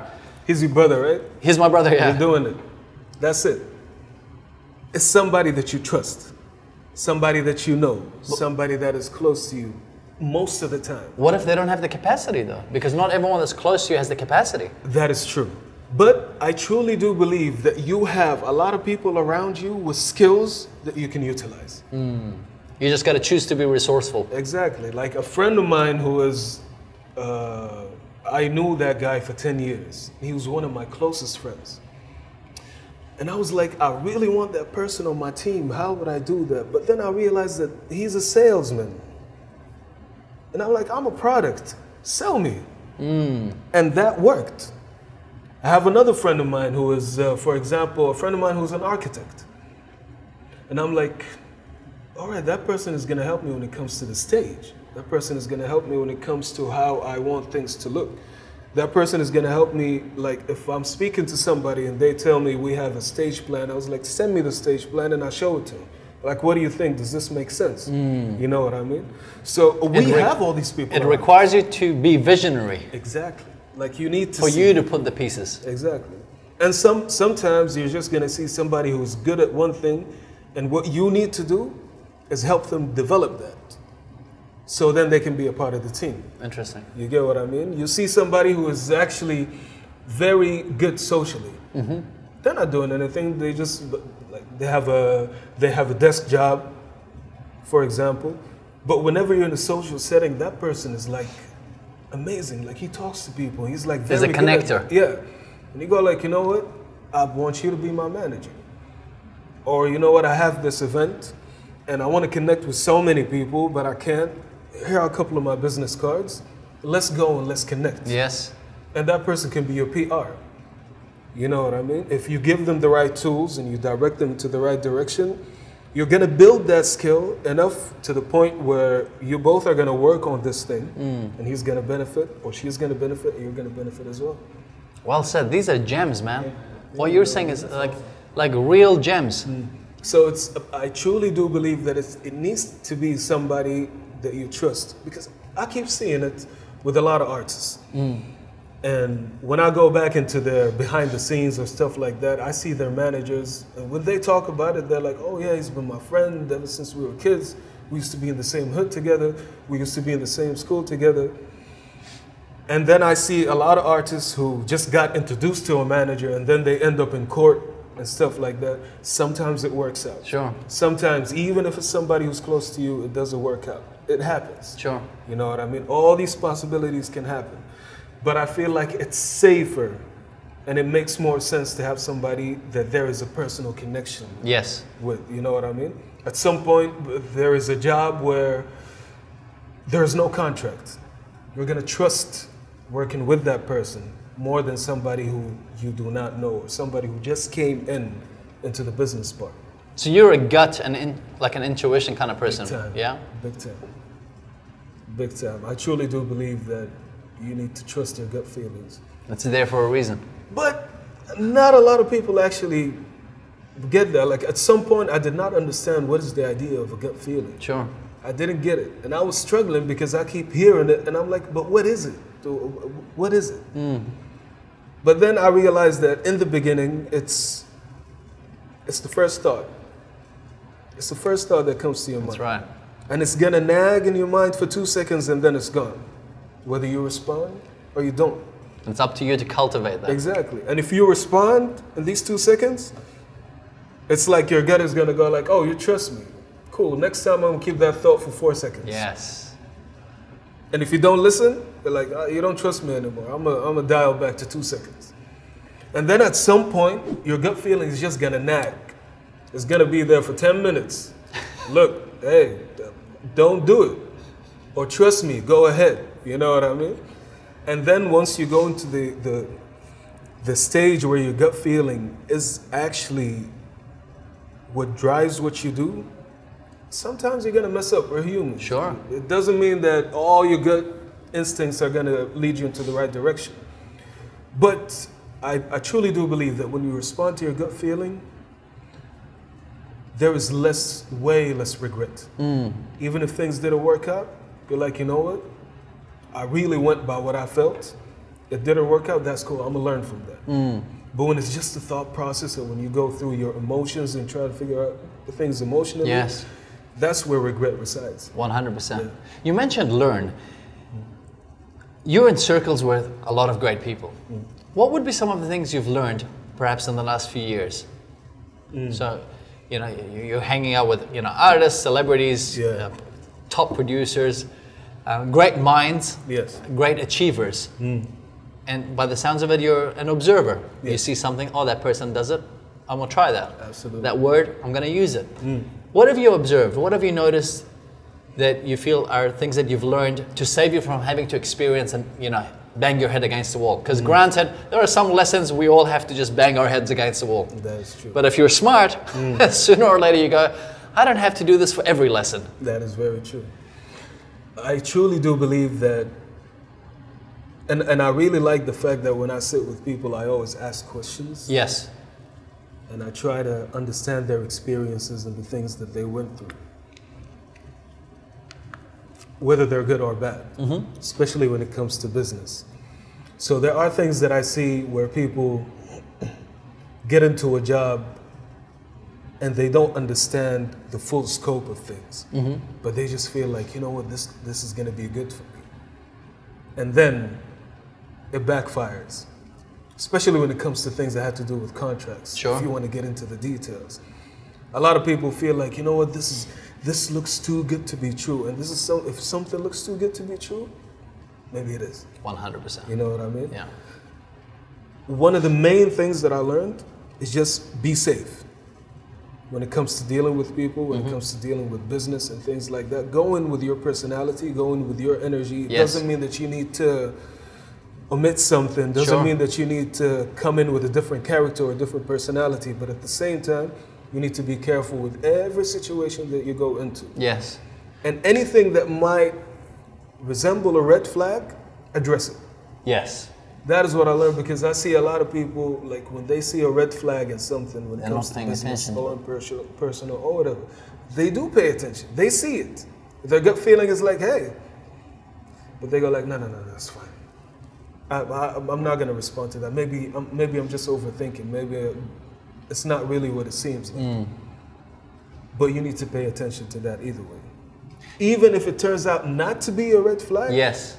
it's just gonna signal to the other person in front of you that you're attentive and you're That's right, you're on point. Yeah, you're paying attention. Yes. And they're either gonna respect that, and they're gonna feel like, yeah, this is a person I can work with, or they're gonna feel like, oh, he called my bluff. I'm not sure I can do that. You know, Mm. because you never know intentions.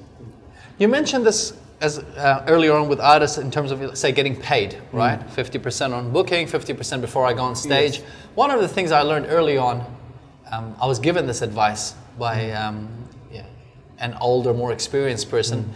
Right at the beginning of my career, he, he goes, for your line of work as a motivational speaker, as someone who wants to, who's just building a business around himself and a brand, because you know, he was clear about, I shared with him my vision of what I wanted to do. That's a tough way to do it. But Yeah. He, um, he said, get paid before you start. Mm. And so, without just keeping my personality, keeping my thing, and this is my recommendation for everyone, mm. you have to be willing to walk away from the deal if it doesn't go through the parameters. so, now, and for many years, we've, we've done this. Mm. Would you like to book Kevin? Yes. The date available, excellent. In order to confirm the booking, payment must be made in full. Whether you're a hmm. government agency, whether you're a royalty, hmm. whether you're a Fortune Corporate. 500 companies, hmm. whether you want to give exposure, whatever your line is, it doesn't matter. Unless the payment is not made, that date is not booked in the calendar. Yes. Have we lost deals? Very few. But I was very clear that I don't have a team or I don't want to even spend the energy of having to hire someone to chase up on Yes, people. yes. And you know what? By just having these parameters and the business lesson that I received, I was like, mm. this saves me a lot. A lot, And it's been fantastic. a lot of time as well. Yes. I, I truly do believe that has something to do with the abundance mindset. Yes. Big time. It has a lot to do with the abundance mindset because you know what? If things don't go the same way I really feel like they should, Yes. you're not being extra. It's just something that's gonna guarantee what I do, and it's gonna guarantee you that I'm gonna go on stage and deliver to the fullest. Yes. If it doesn't work, I don't mind losing it. Sure. It's it's really the abundance mindset. Yes. Because people try to chase those things, going like, oh, "What if I don't get it?" That scarcity mindset Yes. is just it sets you back. Yes, well said, well said. I can't remember where I saw this, but um, I got it while I was doing some research. Uh, you don't know their names, you don't know what they were saying, yet you were influenced by them. And I'm referring to French rappers that Hamza Hawsawi used to listen to. Yes. Um, how do they connect? Because I want to relate this to the title of your TEDx talk, which was The Language of Music Yes. and how through the language of music everyone can connect regardless of our culture Yes. and language and i think i understood that because it was in arabic Yeah. and even though my yeah, arabic yeah. isn't so strong so i did pretty okay That was a very interesting story. That so please do tell because i don't think there is an english version and this would be Yeah, great for sure. That was a very, very, very interesting story. Now, I was at the studio in Saudi, in Jeddah, with uh, one of the greatest producers that I've ever sat with. His name is Faraz Shatila. And he had this project that was fusion. He would go to the desert and bring the people that were living in the desert, singing their songs for generations and generations. People that have not ever seen the city, brings them into the studio, and you're like, just chant whatever you chant when you're uh, like sitting next to your tent or whatever when you're sitting with your family or in your weddings or whatever it is. I just want you to chant it, and I will record it. So he used to go to different parts of Saudi to do that. Uh, when we were sitting in the studio, it's a big studio with a lot of employees, international employees. so he played one of those songs for me. And it was this guy chanting in, in a certain way that I don't even remember, but it's very, very unique and it's very distinct. We were listening to it, listening to the music, and then suddenly one of the Spanish guys that was there working, he walked in. And he had this look on his face like he was extremely surprised. He's like, What is this? What are you guys playing? And he told him, he explained to him, it's, uh, it's, it's a traditional song, like extremely traditional. Not the traditional that we hear today. More like this is something that has to do with a village and it has to do with a, with a certain tribe. In Saudi Arabia. Yes. So that guy was like, please stop for a second. And we stopped the music. What is it? He took his phone out, he was scrolling, and then he went into uh, the voice notes. And he played a voice note. And that voice note, there was a lady singing exactly the same thing that we were listening to on those speakers. Exactly the same thing, the same notation, the same runs in the vocals, maybe even the same scale we were just sitting there like, what is this? Like, is this the a cappella of this? What is it? He's like, this is my grandmother in Spain. She never left Spain. She doesn't have a radio. She doesn't have TV. She doesn't have any of those things.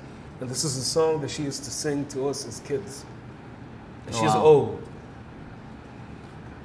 And she was singing it in Spanish, and this guy was singing it in Arabic, but it's exactly the same song. And this guy has no TV or no radio. He's living in the desert. And this lady is an old lady with no TV or no radio. She's singing this song because she heard it from her grandmother and her grandmother before her. And like if you go back into history, you will understand the connection. You know what I mean? Because uh, the, the Islam Empire was in Spain at some point in history. But initially, when you see something like that, you go like, "How did that connection occur? How did that happen?" And then you understand that it's it's just music, man. Like when I listen to those French rappers, I don't know what they're saying. But when I listen to it, I just like the melody. I like the flow, and it resonates with me. Mm. And maybe at some point, subconsciously, I will be in the studio writing a song, and I'm gonna be inspired by that same thing that I heard from those French rappers. And somebody else 10 years from now is gonna listen to the song and go like, wow, it's the same, but this person is from a different place. Well, right now, with the existence of all these technologies, Yes. we're actually becoming one person. We're, we're becoming one, like, uh, one hive mind. Interesting. Because we're sharing all these information yes. together. Yes. And that's actually creating kind of like one personality, you know what I mean? But seeing that situation, I was like, it's very interesting how we're connected through music.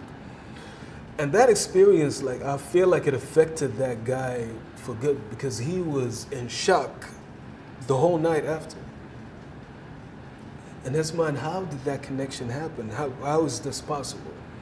I'm all the way from home in Saudi, in a place where even my friends over there think that I'm riding a camel right now. That's right. That's how That's they the think. perception, Yeah, sure. that's how they think about it. And then he's like, I'm listening to this song, and it's something that I grew up listening to in Mm. Spain. And to me, that, that changed a lot of things in the way that I think when it comes to music. Because I know for sure that music is should be eternal. Yes. And when I work on songs, the way that I think about it is I really want the song to stand the test of time. If I just want to make a song that's going to be a hit in the radio for a month and it's gone, okay, maybe that's going to benefit me. Maybe that's going to get me a couple of shows. Maybe that's going to get me some money. But I'd rather have a song that 100 years from now people are still going to listen to. You know what I mean? Yes. Timeless. That I always think about that. I really want to create something that is going to be timeless. You mentioned flow. Hmm. How do you get yourself in a state of flow? This is I ask Hmm. this specifically because it's easier if you're a methodical person. Maybe you are, but like if you're an engineer type, it's easy. Yeah, yeah. But when you're creative, I mean, my mom jokes around. She goes, "Do you work?" I'm like, "Mom, I'm always working. You just Your version of work is just very different. My Yeah. version of work is sitting around in cafes looking like I'm not working, but I'm thinking. thinking is working for Kev. Sure. Right? But coming back to you, the the idea of flow, how do you do you have a, a process? What's your perhaps rituals or habits put yourself in a creative process? I mean, you're you know, you're, you're singles. Maybe you can share with us how you hmm. got inspired Yes. and perhaps if you have a process for these in the hope that you know the viewer can go, hey, that's a good habit to have. Hmm.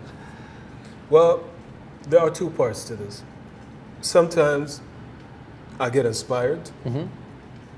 If I'm watching a movie, Yes. if I'm having a conversation with someone, and we mention something, and I'm like, that could be a nice song. And I just write down the note. Just from a comment. Yeah, I, go like that. Could, that could be a really nice song, and I write it down. And I go like, um, when I go to the studio, I'll try to create something out of it. And most of the time, I go into the studio, for example, with a producer, and we're listening to some music, and I listen to to this song, and I feel like I want to write to this song. One second, it's one of those ideas that I was inspired by. You know what I mean? And I come up with, I take that idea and I try to apply it onto that song. But that, like, So you do note taking, a lot of Yeah. note taking. Okay. but it's not something that you can depend on. Sure. Because sometimes you need to make sure that you're constantly creating. Yes. And that's, especially with music, you need to make sure that you're constantly creating.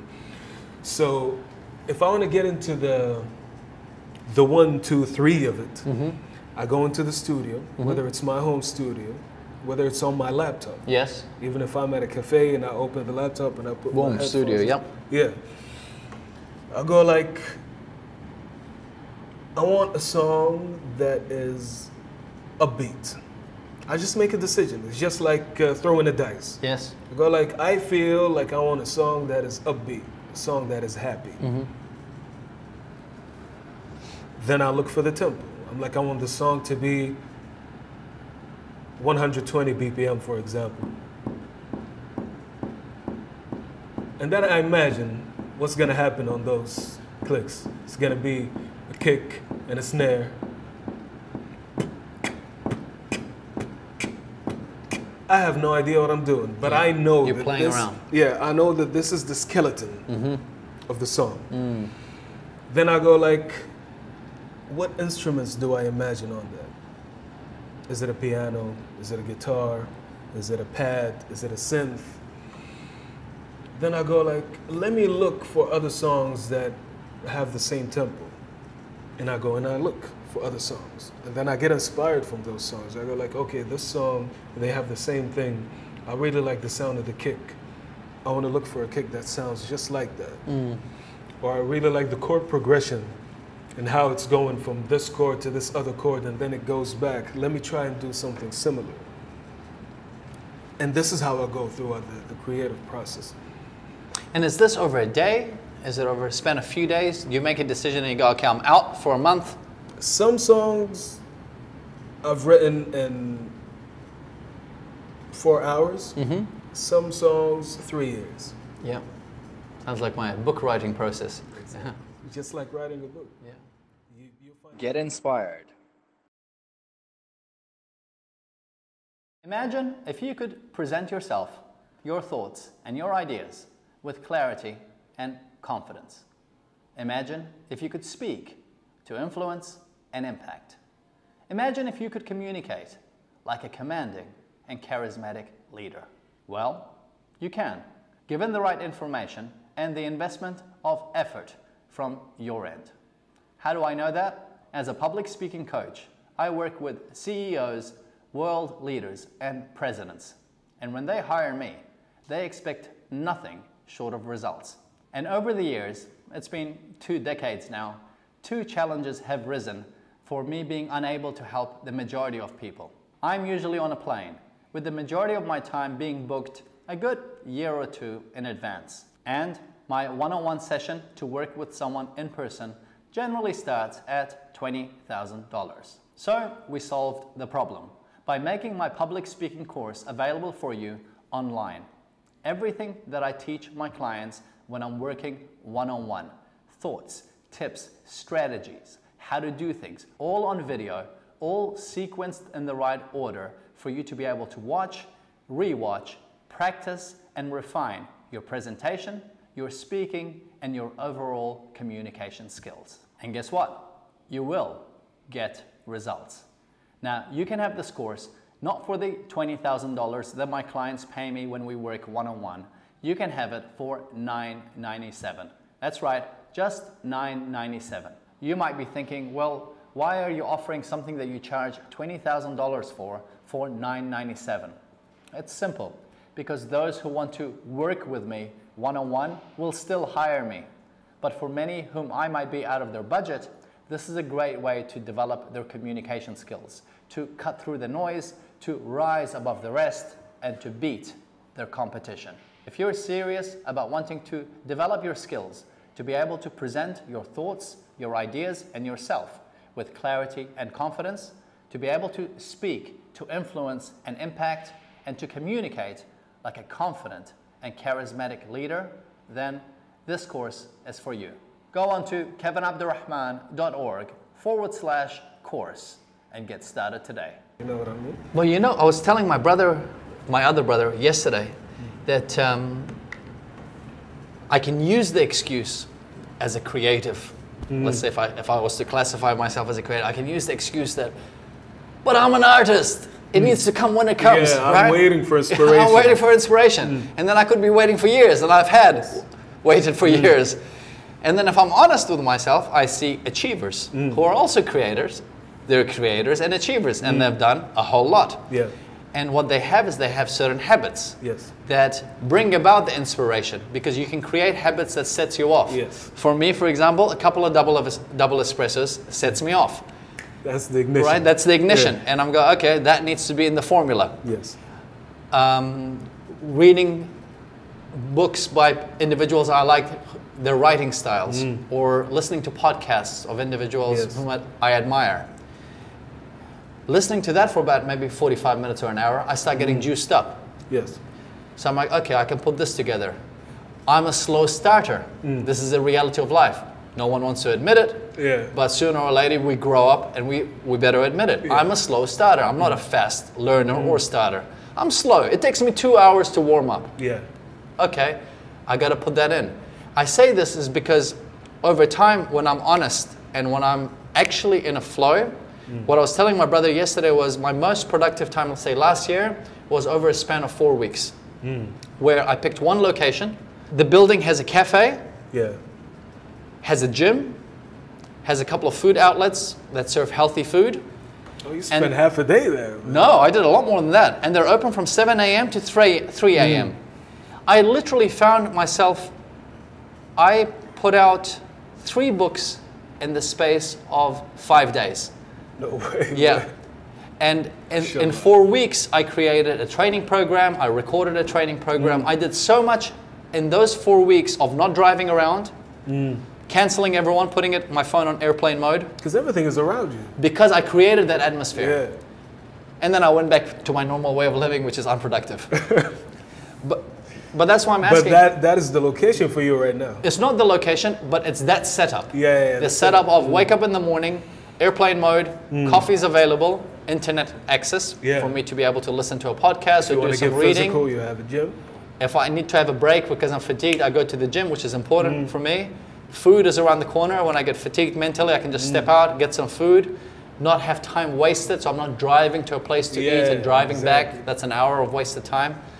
And I can stay there uninterrupted from seven to for hours. Yeah, from seven to three in the morning, should Mm. I wish. But many of the nights was till midnight, and I got so much done. I'm like, this is it. This right here is the formula. Now it's whether you choose to Yeah, yeah, live yeah. with this formula or not. And that's how this question came about was if there is a process that you found or That's actually very true.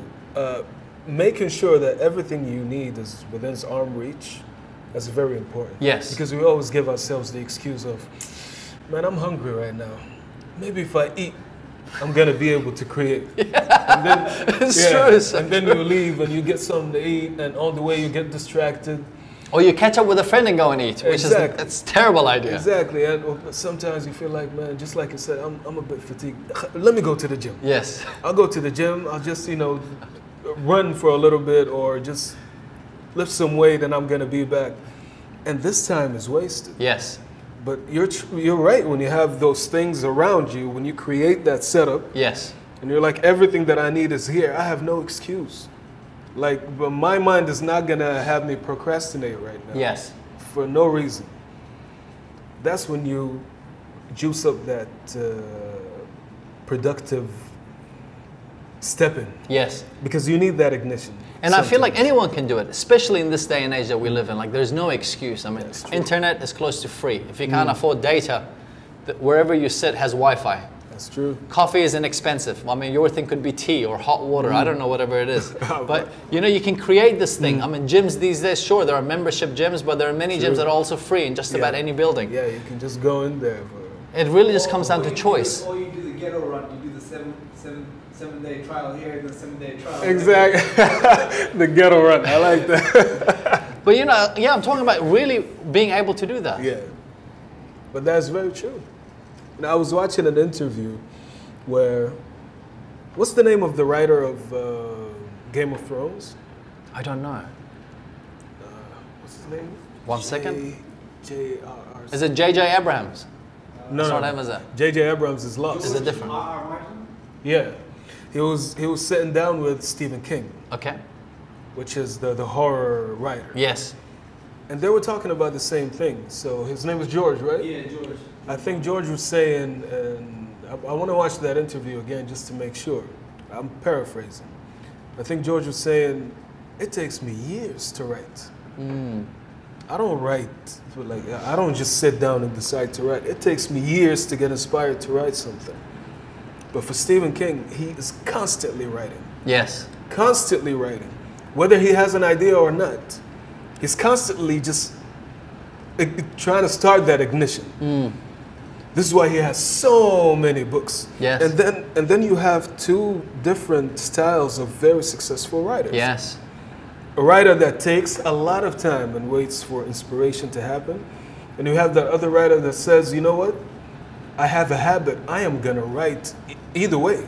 That's right. And something is gonna work out from all I just keep this. writing, Exactly. absolutely. I'm just gonna keep writing and some one of those pages is gonna be nice.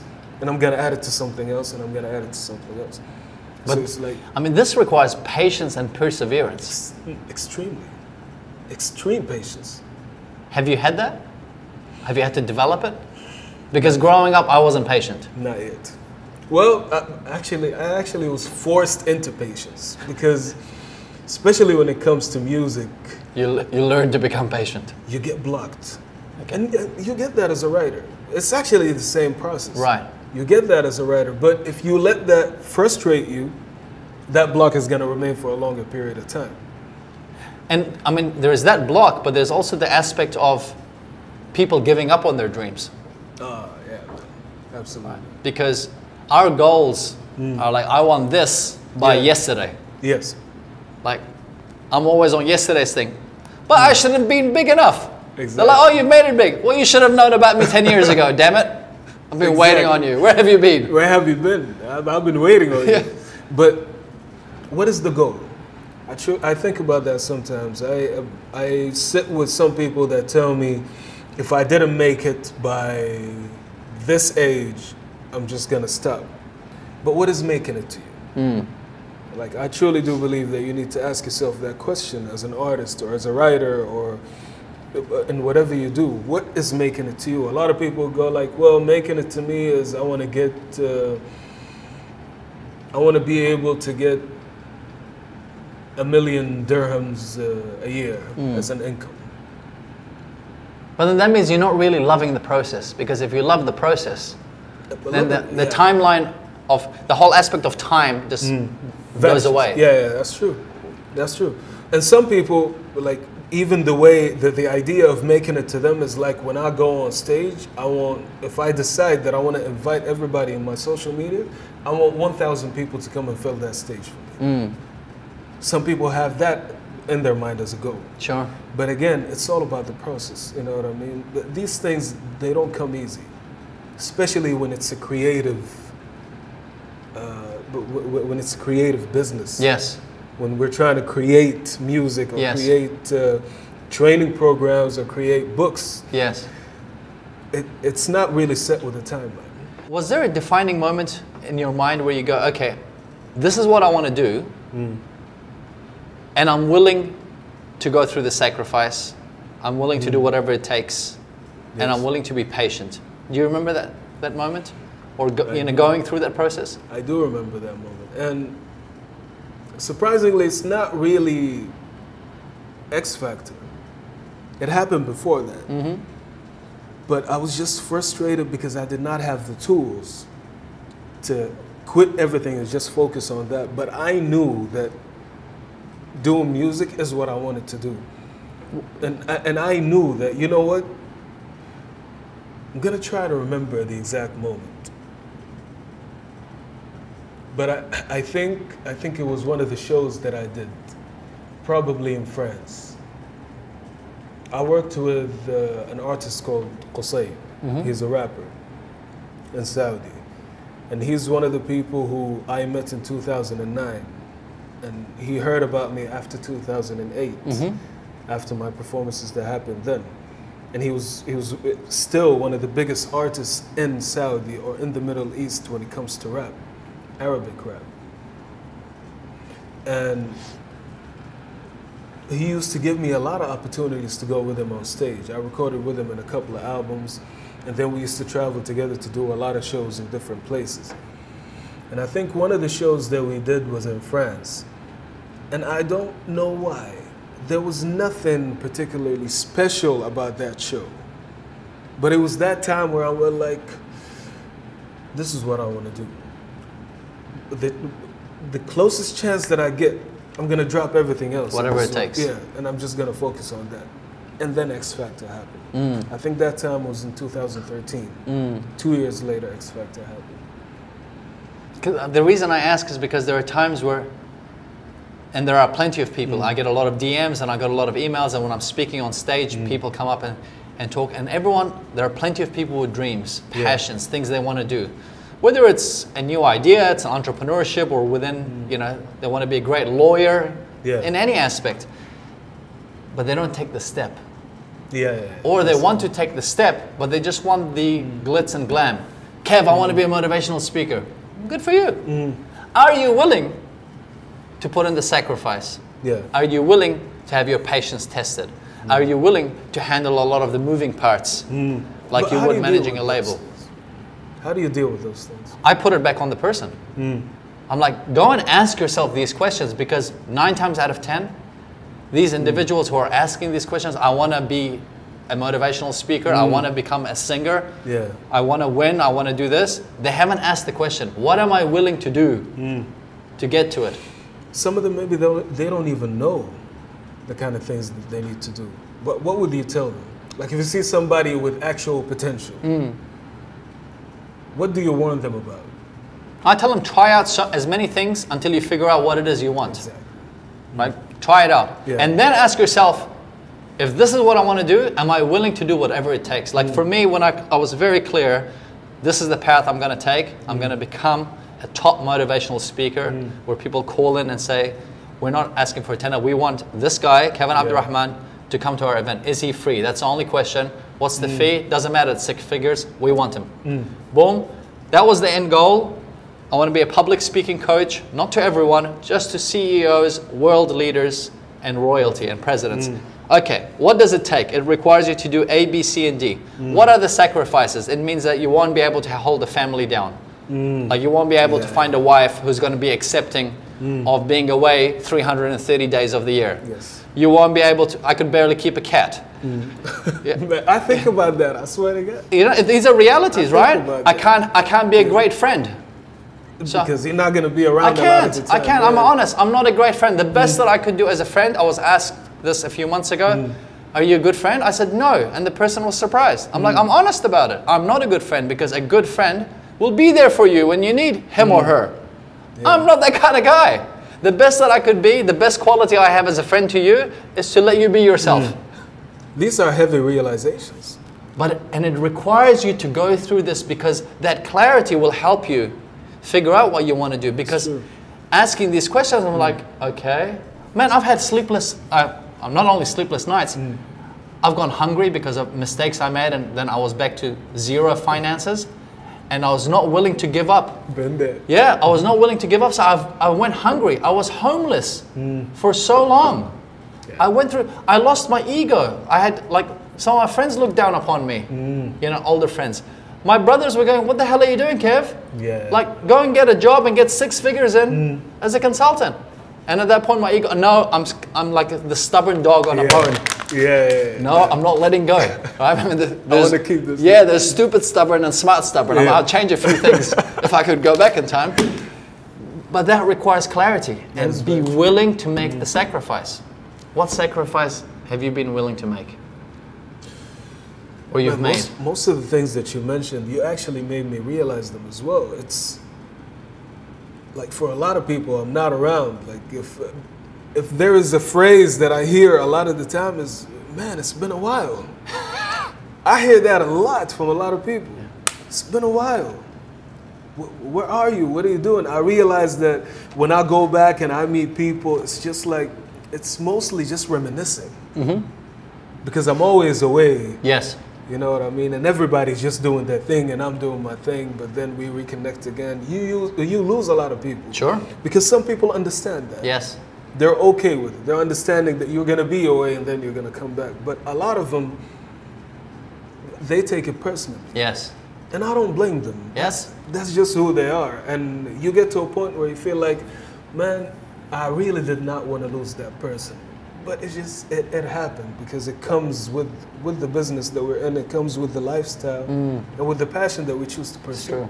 It reminds me of that Dr. Seuss quote.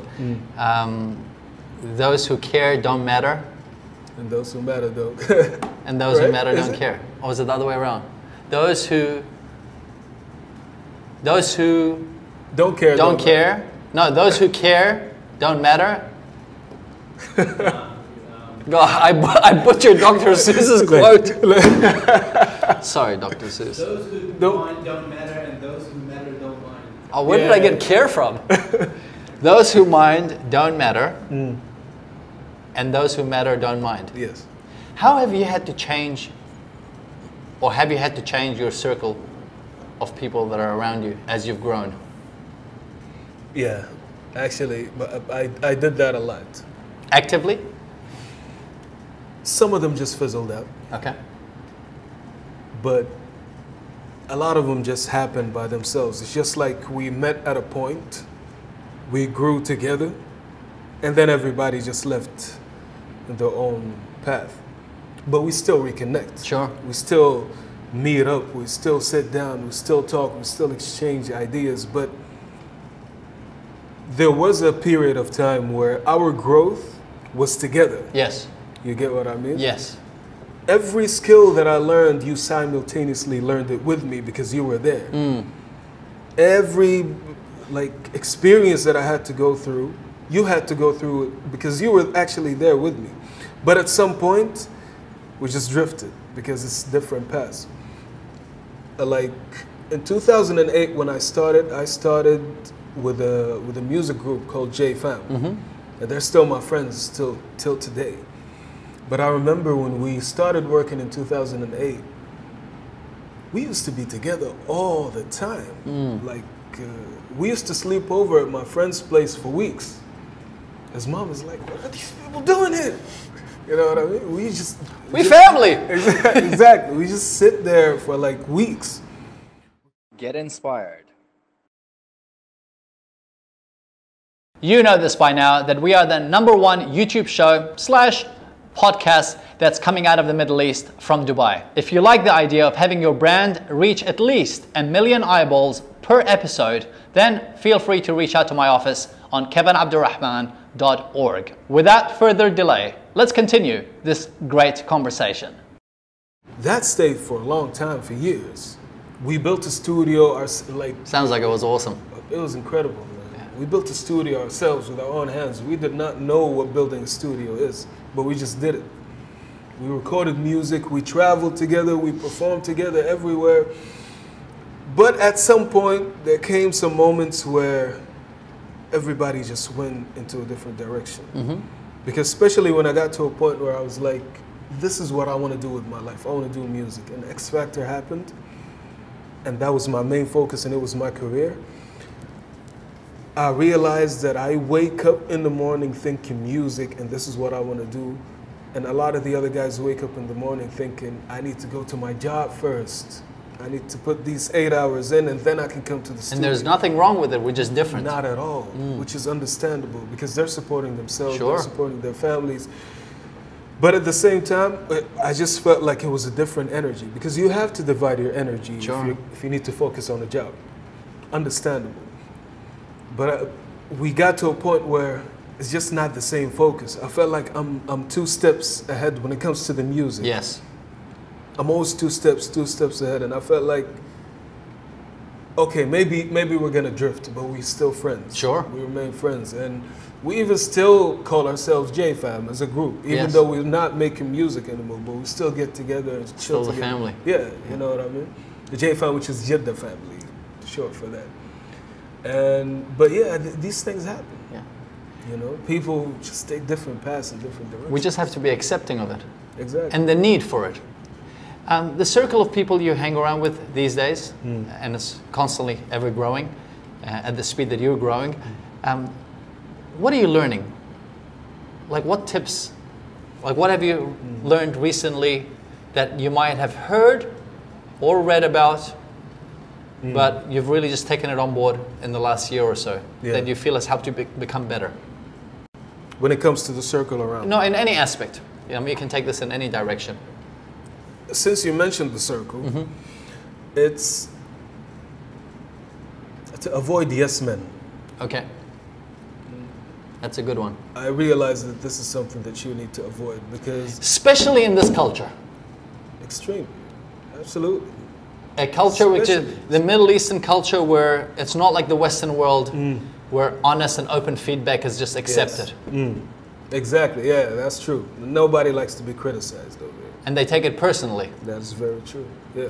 So having yes men around while not having self awareness that this is just stroking my ego, and if this keeps happening, I'm gonna get to a point where I'm not really gonna accept anything else mm. than everybody agreeing with everything I do. And I've seen it happen in front of me. People go to a point where if you criticize them, or criticize something that they did, or you try to redirect them to, to a certain situation, they take it personally. And I understand that. Yes. I get it because at some point I was that kind of personality. Mm. I would listen. I would listen to somebody who had a criticism on something that I did, or, for example, a song that I did, and they tell me, "Oh, but like you could have done better on this part," or these lyrics were kind of uh, they weren't so good. Maybe you could have said something like that. I used to take that personally, even though I don't react, but it used to bother me, and that feeling of being bothered bothered me even more. Yes. I was like, why am I bothered? That's fine. I, I should understand this. You know what I mean? So I realized that having people around you that are not, they're not scared to poke you a little bit. Yes. As long as their intention, It's all about the intention. yeah, their intention is to help you get better. It is all about the intention. Because somebody can say something that sounds nice, but the, you can feel the intention. Your gut feeling tells you they don't intend very well. You know what I Yes. mean? Yes, it's all about the intention. So, some quick fire questions. How do you deal with fame? Fame. Yes. If you could go back and advise yourself hmm. and give yourself heads up, what would you what would you say? What would be some of the things you'd you'd want to have? I say this again for aspiring artists in any field or Yeah. any individual who might find themselves because it can mm. happen overnight. Yes. Like you, you put in the yards, what seems like overnight success, it could take you 20 That's years, true. but then suddenly you're in the spotlight, you have your wave and your surge, and now you're in the spotlight. Mm. What would be your tip of dealing with fame? Uh, since you said the word wave, if you're a surfer mm-hmm. And if you're riding a wave Yes. and you take six hours riding the wave, mm-hmm. where are you gonna end up? On the shore, right? You're gonna go back home. Yeah. You gotta have an anchor. You have to have an anchor. You have to have a home to go back to. Yes. Because if you're just riding the waves and you're just riding and you're going into the ocean because it's very amazing, you're gonna drown at some point. Hmm. Or you're just gonna get lost. Sure. You gotta go back. You gotta have an anchor. And an anchor can be your friends, Yes. the people that are that have been around you for as long as you remember before your fame, Yes. your hometown, your family, your uh, your neighborhood. You know what I mean? These places or the, those people, you need to to keep those people around because I truly do believe in the aspect or the the idea of an anchor. Wherever you go, you just need to go back. Yes. And that is what's going to keep you grounded. You know what I mean? Because people get affected by fame because it strokes their ego, because it gives them a- an inflated uh, sense of self. Sure. They feel like they're more important than what they are because they're dealing with people that give them that feeling. Yes. And they just get immersed in that because it's, it's nice. I like that. Let me, let me stay there. I don't want to go back. I want to stay there for a little bit longer. Mm. It's a nice wave. I want to keep riding. I want to keep riding. And then they realize they're lost. You know what I mean? Yes, true. So I truly do think about it. it. Whenever I go and do everything that I want to do when it comes to music, I travel or go on stage or do interviews and things like that. When I go back to my friends, they don't make me feel like I'm an artist. They remind me that I'm Hamza. I'm, I'm the, the, the person that, that, that was their friend, that's their friend, that grew up with them or that got to know them at a certain point in life. And then I go back to that, yeah, this is who I am. That's what I do.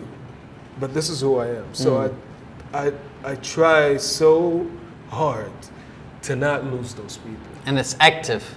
Yes. It's, it's something you have to It actively act- do yourself, yes, right? It is active. Like there are some people, there are some relationships that might fizzle out Yes. and not work out.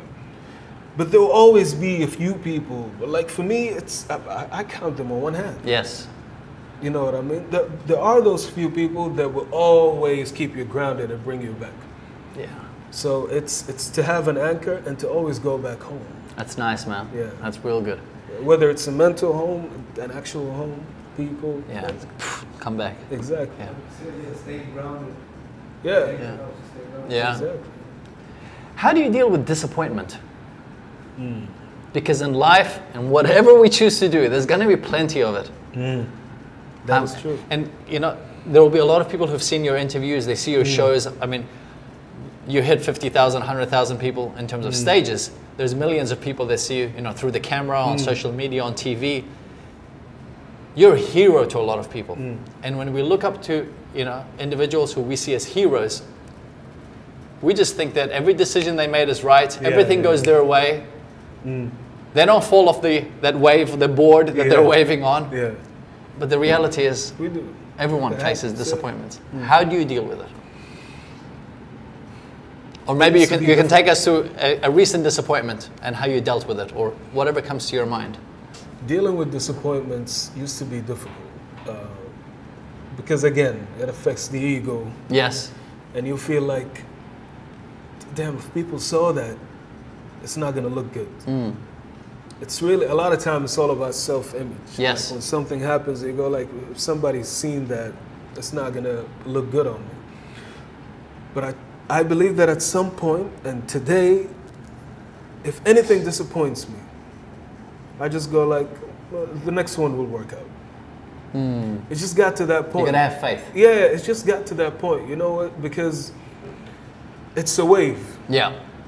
We're gonna go up, we're gonna come down. Yes. It's gonna happen. So when you feel like you're at the apex and you're like, wow, this is amazing, everything is amazing, you have to remind yourself at any moment now, this is not you being pessimistic or No, no, it's just the like, reality. at any moment now, I might need to dip again and reach that valley. But even if I go down there, I'm gonna go back up again. Mm.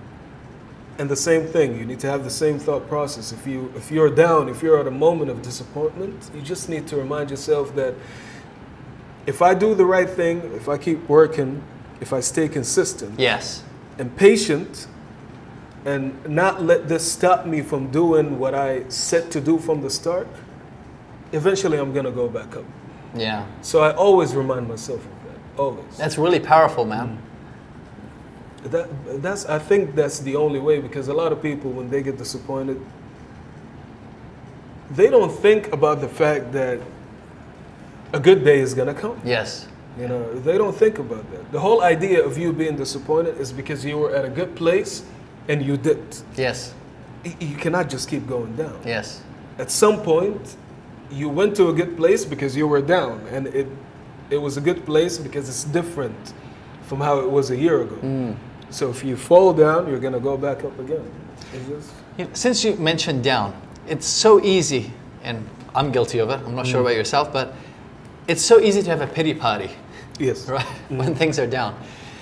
But I liked your thought on the fact that the tough times, the times where either you face it down or things are wrong or you're not mm. feeling your best or you're stressed out or whatever the situation is, you can use it as a moment of inspiration.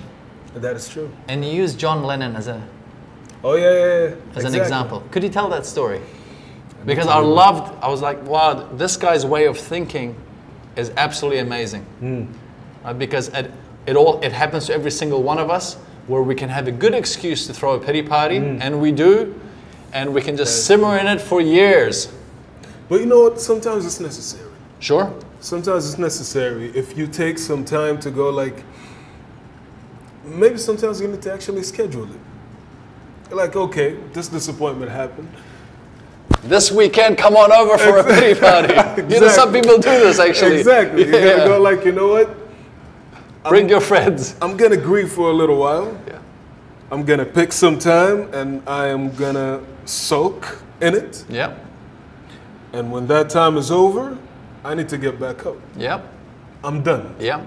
It's good. Let, let's swipe, wipe the sweat and all of that, and get up and get back. to. Yes. You know what I mean? So sometimes it's necessary. Yes. It's actually effective what you're saying. Yeah. It's sometimes it's necessary to go into that emotion. Yeah. Like go deep into that emotion. Feel every aspect of it, so nothing is left for you to be surprised by at any point. Mm.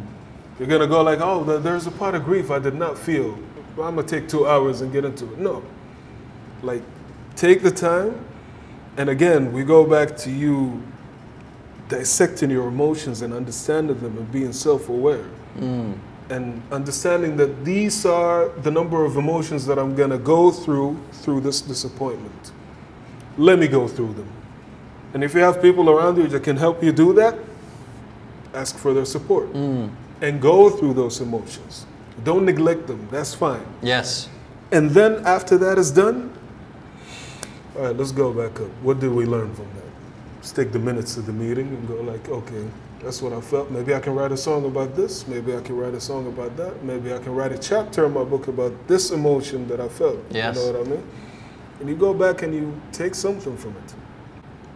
Will you tell us the uh, the story? Oh, I'll let you tell it. the John Lennon story. Yeah. Damn, you need to remind me of that. No worries. I think you were saying that there was a, a quote of his where he goes, "I was down, depressed, and fat." You know why I want you to remind me of that? Because I wrote that whole thing three hours before going on stage. Nothing like a last minute thing. I was doing my research. You're a true Arab, Yeah. brother. You're a true Man, That's how we do it. Last minute. Three hours. I researched the Michael Jackson story. I researched the Elvis part. There was also a writer. yeah. Well, I don't consider myself a writer. No, no, no. The, there was also the example of a writer Oh yeah, who yeah, had yeah. polio. What's what's his name? Yeah, yeah, exactly, exactly. And there was that. Uh, Let me find the quote. There was a singer who wrote a song for his wife's. Uh, That's the one who suffered from polio, right? Yeah, yeah. He couldn't walk. So at a stage in his life, John Lennon said, I was fat, depressed, and crying out for help, And that's where the song "Help" came through. which is one of the, Beatles. It's, one of their biggest songs, yeah, right? Man, it's one of the songs that actually made the Beatles, and it's I th- I'm sure that's one of the songs that is still most played right now. And these songs that come from those deep emotions, they stay. Mm. And sometimes, if you really ask the artists who wrote these songs, are you, can you listen to those? Sometimes these artists will tell you, I can't. You know because what I it takes them back to that place. Yeah, but when you invest so much emotion into something, it just resonates with people. A mm. lot of people connect to it, and a lot of people feel it. This is what makes a song timeless. Because again, if we're gonna create a song for it to just be a hit on the radio, You're not going by what's trending, you're going by emotions. yeah, you're gonna you're gonna realize that that song is just it's just the jewelry. Mm. That song is, ju- is just the jewelry, but and, and it's the clothes. But the deep song is the person. It's the actual person. It's the mm. actual emotion. Like the the naked person with nothing on them. You know what I mean? The vulnerable person. Even if it's a happy song. If it's a happy song, but it's it's from a really honest emotion, it resonates and it stays for a while. Yeah. Michael Jackson, for example, "Don't Stop Till You Get Enough." It's a, it's a happy song, but it will always remain timeless. Nobody's gonna forget this. Yes. because it's one of it's from a real emotion. Speaking of Michael Jackson, my nephew Kareem. Hmm? Every time I'm hanging out with him, we're in the car. It's Michael Jackson CD. He's got the tracks on, number four, and then he commands the order. He's, he's five and a half. Bro, Really? Michael Jackson. Morning, as when he wakes up, to the time he goes to sleep. Honestly, it got Michael Jackson got to him so much that I had to stop wearing it for a while. You'd wake up in the middle of the night and sing, just beat it. Are you serious? Yeah, I'm like, go to sleep. How old is he? Five and a half? Yeah, and he commands it. He goes repeat because he's sitting in the back mm. seat. He's like, press repeat because he can see if it's on Yeah, repeat yeah. or not. I'm like, okay, sir. Yeah. Push it on repeat. It's very interesting for me when I see a young generation loving Michael Jackson Yeah. right now, right That's now. That's magic for, for me as a kid listening to it, wanting to be like him, trying to dance like him. Exactly. My kid doing this, that's magic. And it's different because What At the impresses time you? we- Yeah. At the time we were watching Michael Jackson, Michael Jackson was alive.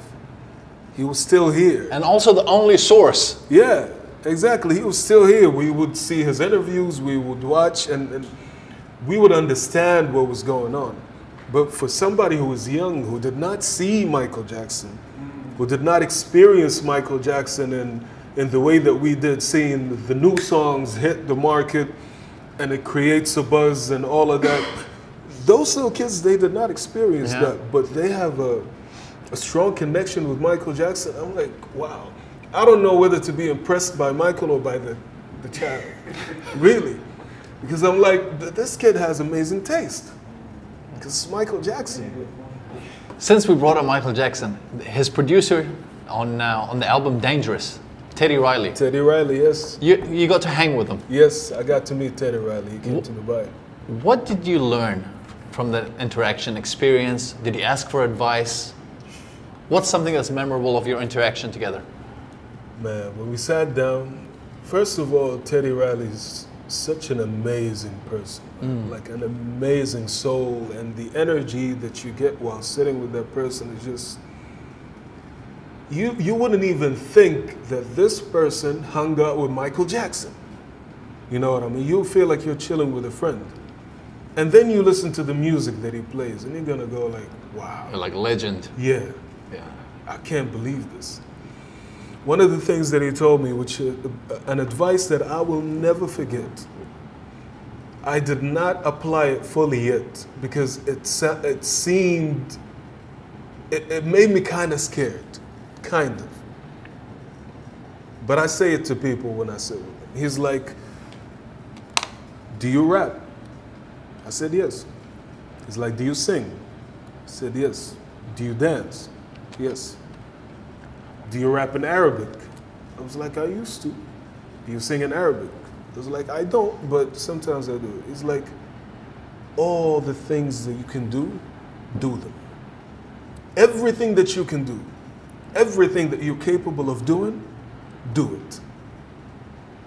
And at some point, either you or the people that you're going to show your art to, they're going to decide which one they gravitate more towards. Hmm. And then maybe you're going to focus more on that. That's a good one. It scared me, man. It is scary. Yeah, I was like, I but I feel like I want to do this. I understand, Yeah. but anything that you feel like you can do when it comes to your art or whatever path that you choose to do, do them.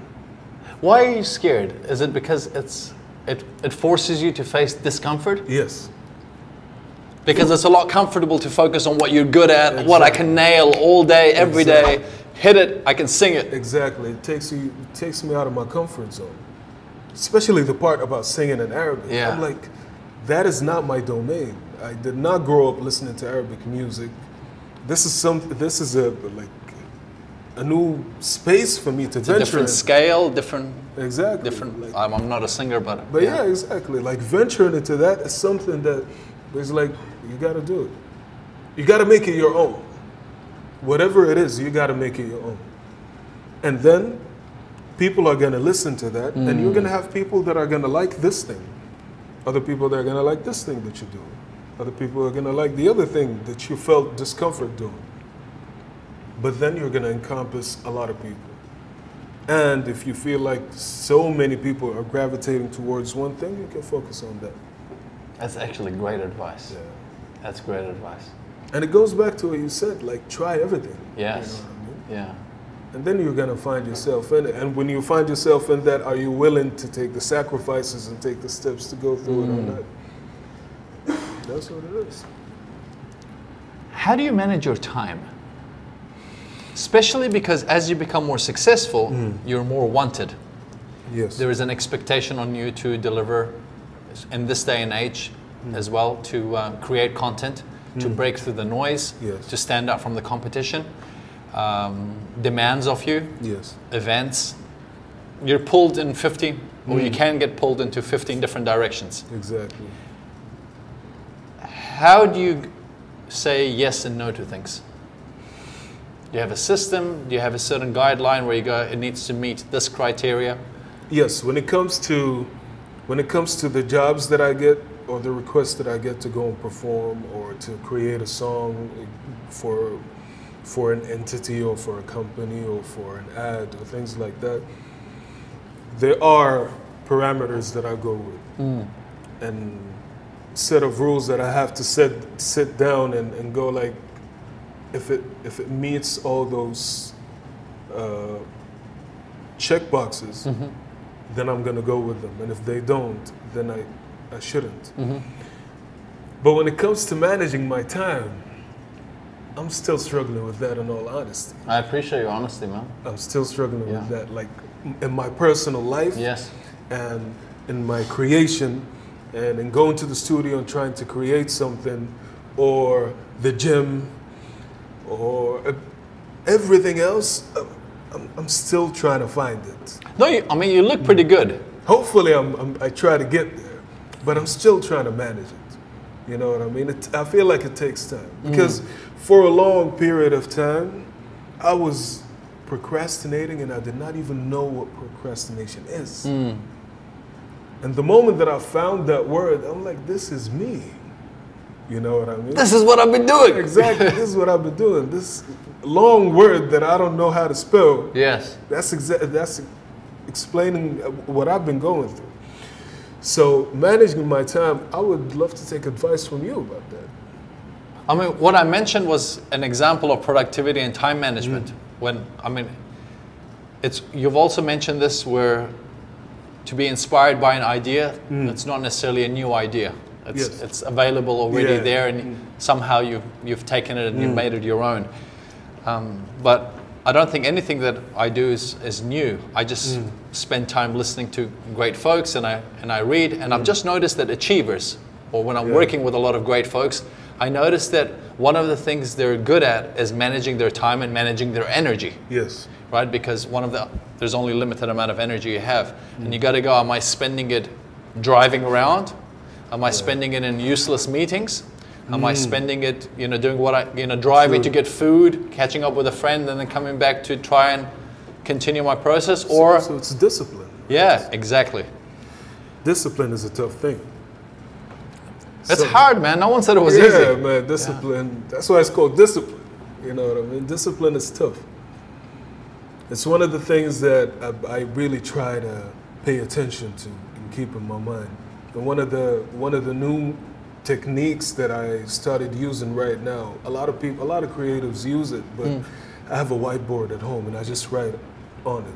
And I make sure that when I get up from bed, it's over there and I see it. Mm. And I see what I need to do either today or next week or whatever, you know what I mean? And whenever I get a new idea, I just make sure I write it down. Even if I don't know when I'm gonna do it, but I need to make sure that it's there. Like seeing it, when, when I keep seeing it, I feel like it gets engraved in your mind, and that's when you do it. Especially if it's something that you've been putting out on the side and, and not doing for a while. When you keep seeing it, it's like you're reminding yourself. Absolutely. You know what I mean? And that's something new that I'm using, and I feel like it's taking effect right now. Yeah, 100%. Yeah. We, um, we did an interview with uh, DJ Bliss, All right, yeah. And um, one of the things he has we have a is. song together, me and DJ. Bliss. Is that right? Yeah, I didn't know that. Heck, we're gonna put the link to it There we go. for sure. Okay, cool. What's it called? Uh, everything about you. Nice. All We right. Did that, I think 2013 or 2014, something like that. He's got a list of affirmations every day. Yes. Boom. I was, I was On the- reading about on the that mirror. yesterday. Mm. And then he's constantly reading it, and he goes, "Just hmm. this is something that you do. You know, are you willing hmm. to pay the price of just Yeah. putting this and reading it?" Do they work? This is what I want to know. Man, he goes, "Try it out. You'll see." Like for him, it's been, it's been magical, and I believe in it. Hmm. But it requires that discipline of doing it every day. Yeah.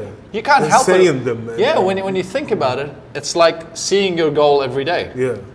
If it's out of sight, it's out of mind. Mm. That's why the saying is there out of sight, out of mind. Have it in front of you every day. This is what I got to do. It's that focus. Similar to when you, you purchase a new car and then you start noticing everyone has the same brand. Exactly. It was there the whole time. Exactly, But now exactly. it's just in your focus. That's exactly what I was gonna say. Like if if you're gonna say, for example, something very simple, I am rich Yes. or I am wealthy. Yes. If you keep saying that for a while, you're gonna notice the opportunities that are gonna make you rich and 100%. You know 100%. Because it's always in your mind, and you're like, "Oh, I met this person. If I introduce him to this person, they can make money, and I can make money with them." Yes. You know what I mean? Yeah. to me, when I think about it that way, I'm like, yes, they they do work. Because the words we speak starts with a thought. Exactly. Right. Yeah. And as long as you get this right, That's what it is.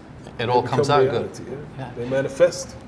The, the business of music, you said something, and I was like, oh, I want to I wanna ask you your mm. perspective on the, the business of music. How do you see this region? How do you see the, just the, the entire business model? Because it is changing mm. now with the platforms, with not requiring to have record labels. Mm.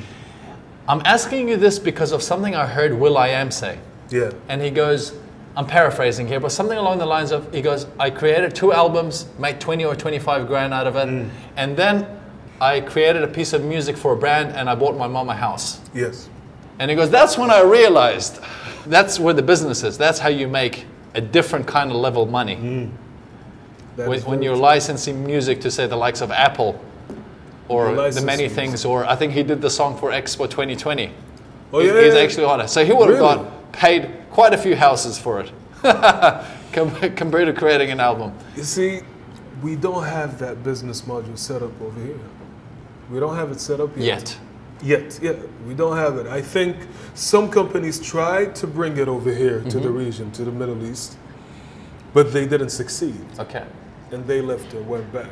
I don't know which company was it. Was it ASCAP or BMI? I'm not sure which one, but we don't have that set up here yet. Some artists, like, for example, I was having this conversation with a friend of mine who's a music producer, Rayan Bailouni, one mm-hmm. of the best music producers here in the region. And he was telling me that he was having a conversation with another guy who owns a company that licenses music and, and buys catalogs. And they were saying that Mariah Carey's song, All I Want for Christmas, that song by itself, within a year, brings in more money than all the rest of her catalog. Wow. Oh, because of the licensing. Exactly. Because it's a song that is guaranteed to be played every year. Every Christmas, you're going to hear that song everywhere. It's December and Mariah Carey's song There you go. in any country. In and I've been to over 100 countries, man. Every country. everywhere. And the money is just coming in. But the problem is we don't have that business model set up over here in order for me to license music and benefit from it. Unless I take my music outside and I shop it. For example, I go to the States or to Europe or to the UK and try to push the music over there. Unless I do that. But a lot of people cannot get out of here. Or a brand that says we're launching this. Yeah. Can you please come and make a song for us and then But you even the brands over here, like when you license it, they only give you like a one-time pay, Uh-huh. and that's it. That's a different model, Yeah. right. But when it comes to all the brands outside, it's a different thing. Like Skyfall, Adele's song, which is another information that I got from my friend Bailouni. That's a James Bond song, right? Yeah. Yeah. That song is making like more money than the rest of the catalog as well for Adele. Interesting. Yeah, because because the movie is always there, and uh, I think they licensed that song for another ad. I don't know which ad was it. Okay. Was Mercedes or something like that? I'm not sure. But these artists, they get those opportunities where one song just makes the rest of their career. Sure. I can't wait for for this business to be set up over here, so us as artists can benefit from that. It's 100%. not here. It's not here, and it makes some musicians sad. You know what I mean? Because Yes. we always get this one-time fee, and that's it. We have to go back and grind and grind and grind. But hopefully, one day it'll happen.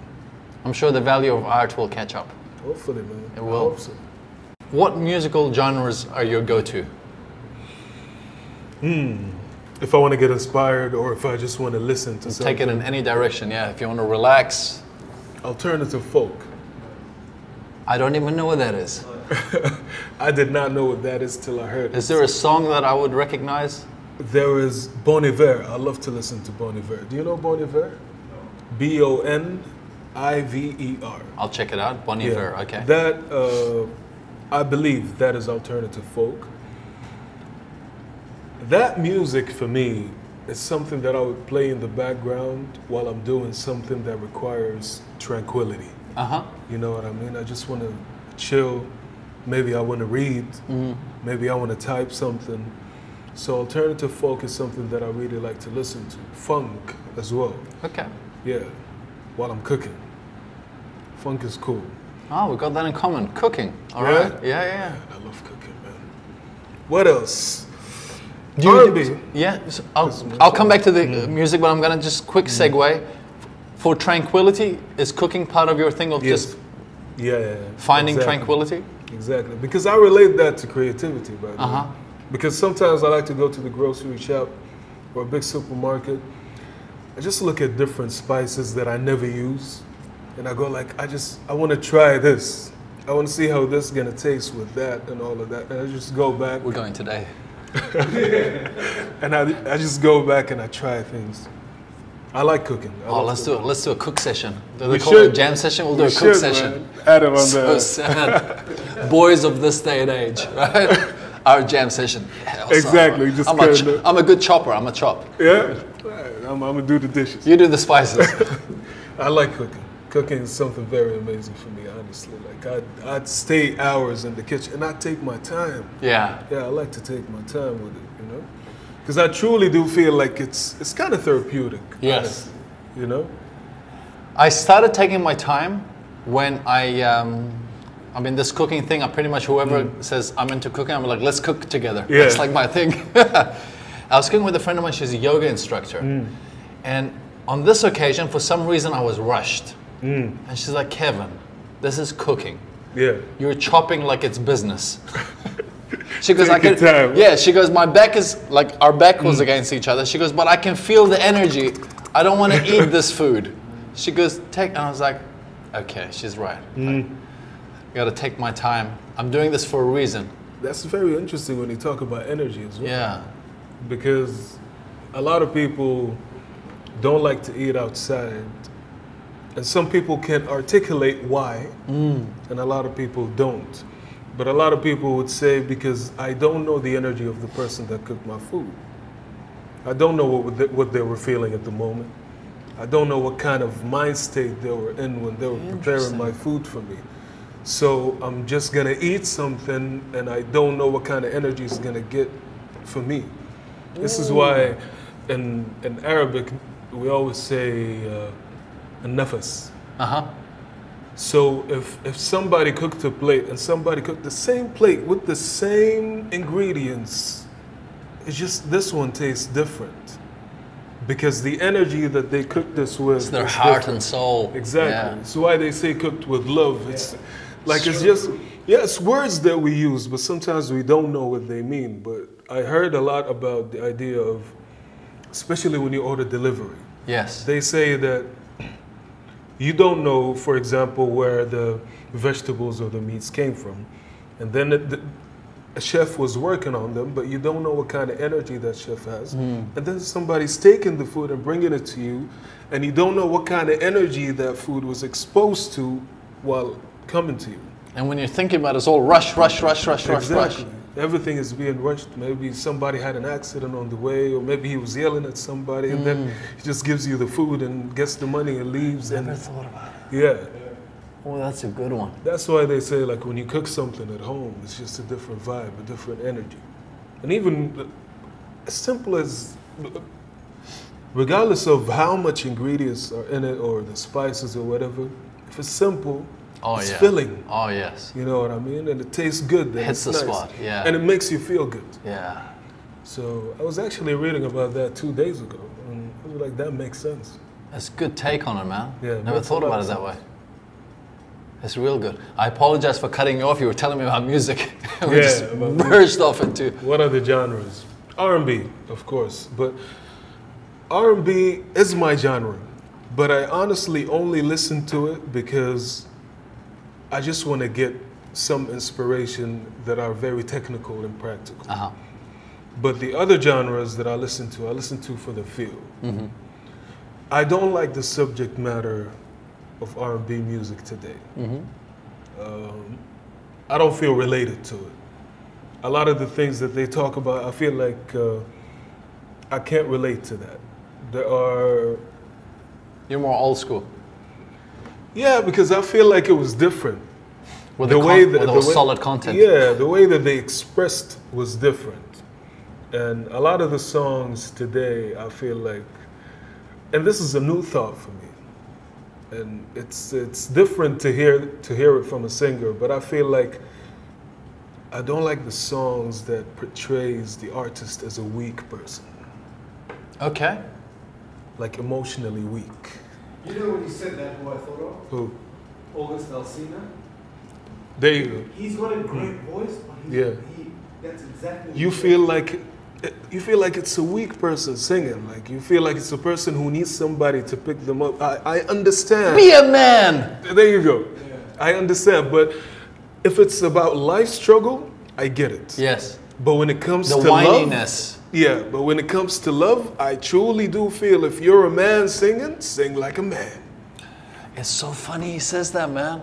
You get Because what i mean there are some songs that are in different languages. Say, for example, for Kiz- with, with Kizomba. Yeah. And I love the tune and I love the melody and I dance to it and it's Mm. so good. But a couple of times when fa- friends translate it, I was like, grow some balls. there you go there you Like- go exactly And ever since then, I've been like, I'm like, okay, I'm glad that it's in Portuguese or it's in French or it's in Spanish. I don't wanna listen Yeah, it. because or Swahili because I can just enjoy it. I don't want to know what it means because I'm worried it's gonna put me off. exactly and i only So funny he mentions that. I, I like I only became aware of that recently because these are the songs that I kept listening to, listening to my whole life. But recently, I was like, they give me a feeling that I don't want to feel.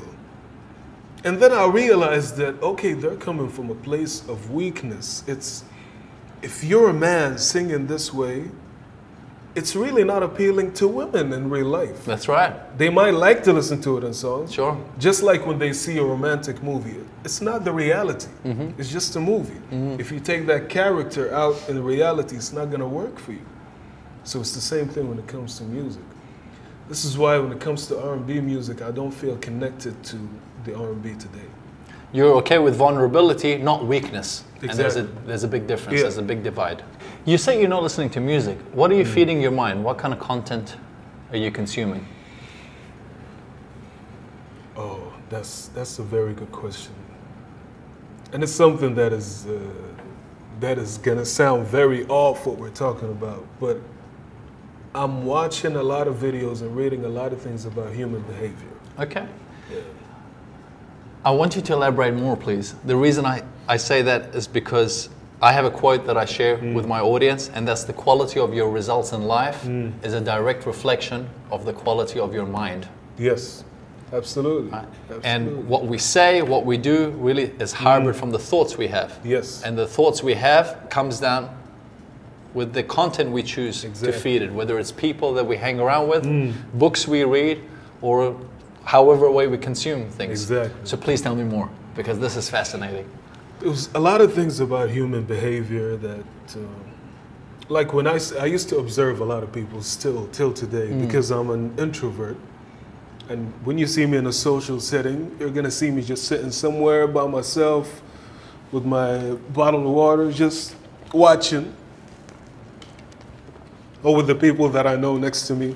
And I just watch. And I like to understand why people do what they do in different situations.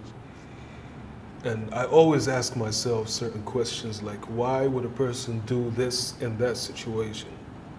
Whatever it is, whether they're in a relationship, whether it's an argument, whether when somebody is happy, why do they do something? When they're sad, why do they do that? And I've been trying to read and find out about those things a lot because I found out that it can help me when it comes to songwriting as well Sure. Because then I'm going to connect with people better. If I understand why a certain emotion makes somebody feel a certain way then I will know exactly how to speak about it so I can get to the person who's listening to the song. You know what I mean? Yes. sometimes you listen to a song you feel like man this song is speaking to me. That's right. yeah like every word in there is speaking to me. And this is why I like Frank Ocean. Because I feel like the way that he writes he really gets to, to what you're feeling. You're like, yes, exactly. That's what he's talking about.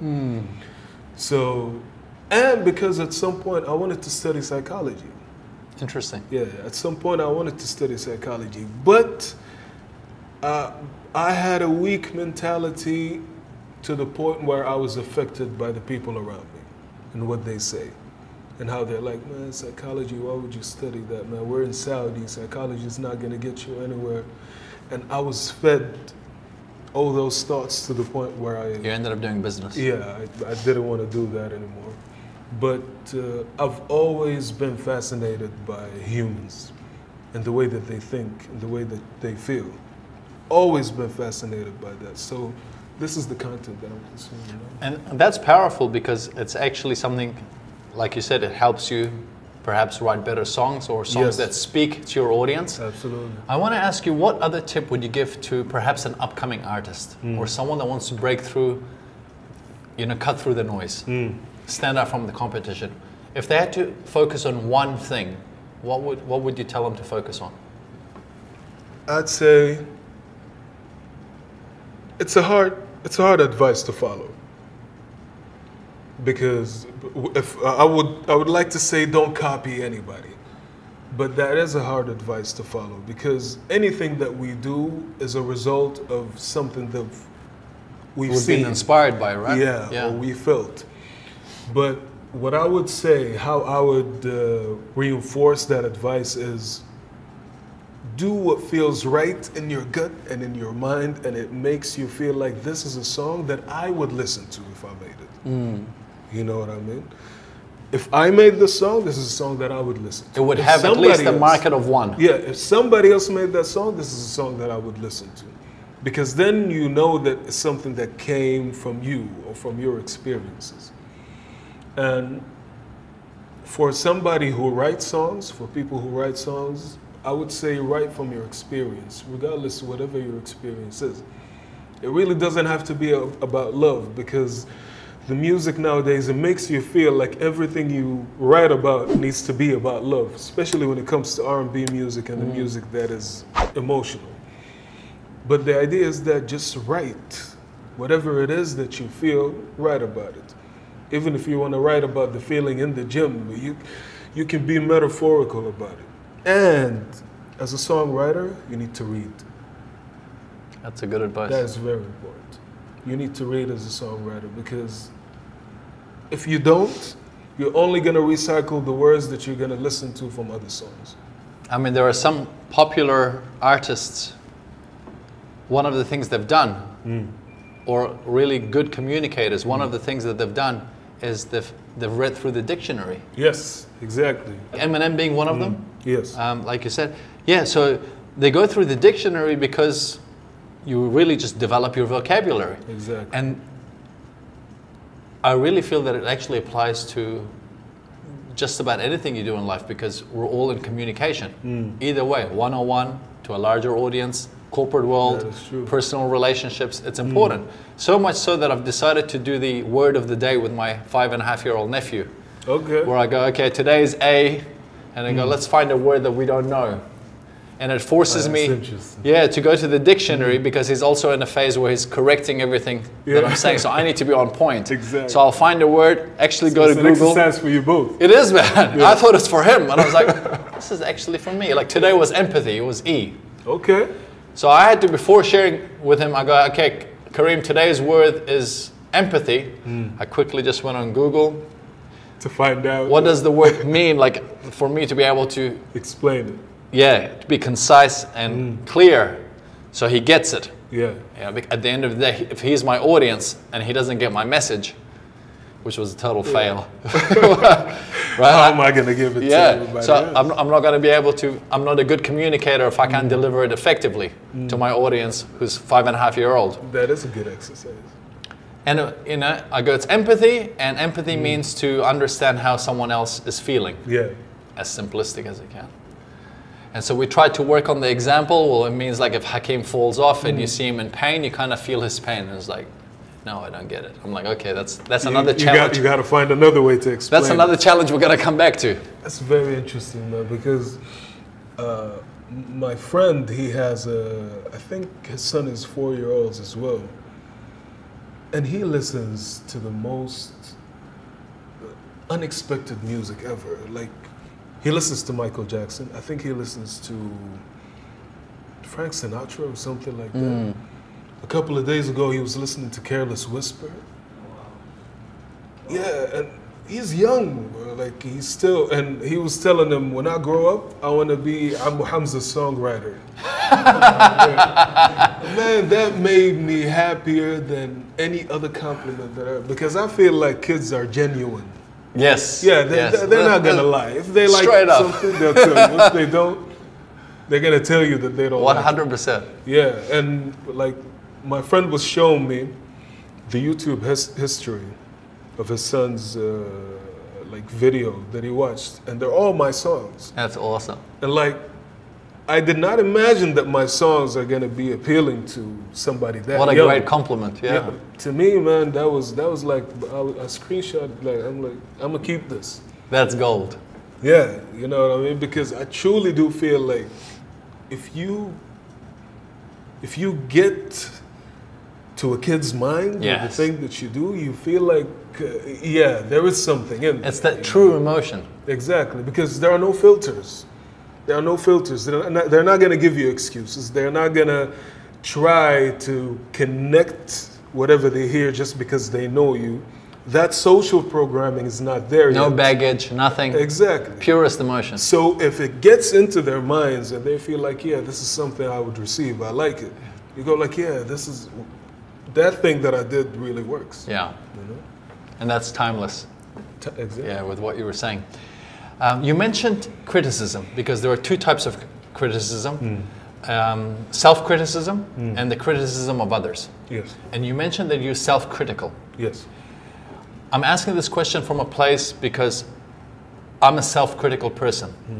It's helped me become great at what I do, but it also held me back. Yes. How do you s- strike, or have you found a way to balance that self criticism to help you excel mm. without it holding you back? Not yet. Okay. Not yet. Welcome to the club. Now, The struggle I is real. About it a lot, but the progress that I made is I realize when it's holding me back. yes. I know that okay, this criticism is actually holding me back. This is the progress that I made. But the balance, I'm still juggling with that. Because when we, when, we, when we were off camera, you mentioned about collaborating. Yes. And how when it's your own song, you're like, Exactly. You're more self-critical, and that's when it holds you back. Because when you're when I'm working on somebody else's song, I feel like the ideas are just flowing.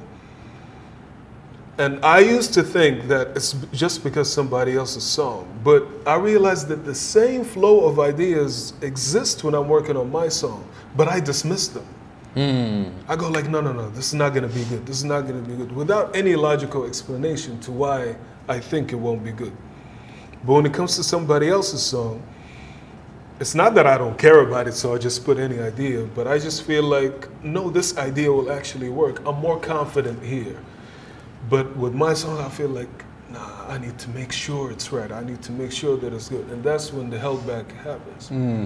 And this is why I'm still trying to still trying to fix that. If you find a solution, please holler at a brother. yeah, it's, but it's, it's, Please. it's the self awareness at first, and hmm. then being, you're realizing and actively going, let's push on with it. Let's push, let's push on. No matter hmm. what, let's push on with it.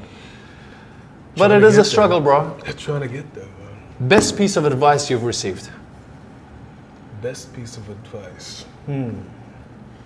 It's a three part question, so I'm gonna drop it to you while you're thinking. Best piece of advice you've received, hmm. best piece of advice you've received and did not apply for hmm. whatever reason, and in a world where everyone's giving opinions, rubbish advice that you've received, and hopefully you didn't take it on board. But In any which order you like. best advice I received, but I didn't apply it.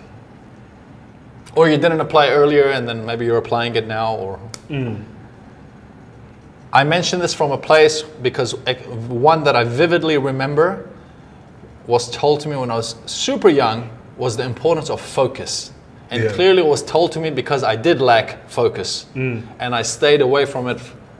I probably still stay away from it, but not hmm. at such a degree Yeah.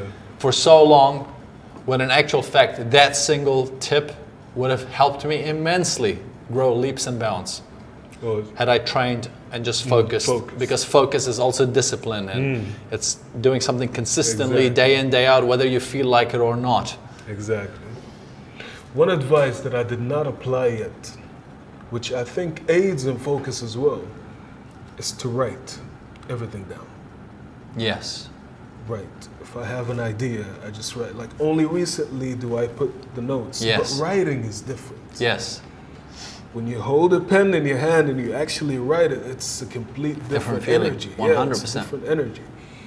So holding a notebook like with you all the time and writing, that's one advice that I got. I remember who gave it to me. But I remember it and I always think about how effective it would be if I follow it. Because I feel like when you have an idea, when you have a thought, or you're inspired by something, or you receive an info, it's here. So you either say it or you write it down because Yes. I feel like that confirms it. yes So that is an advice that uh, you reminded me of right now. So I think I'm gonna go back and try to apply it. The advice that I listened to, I'd say it's a saying that I read and I took as an advice. It's live and let live.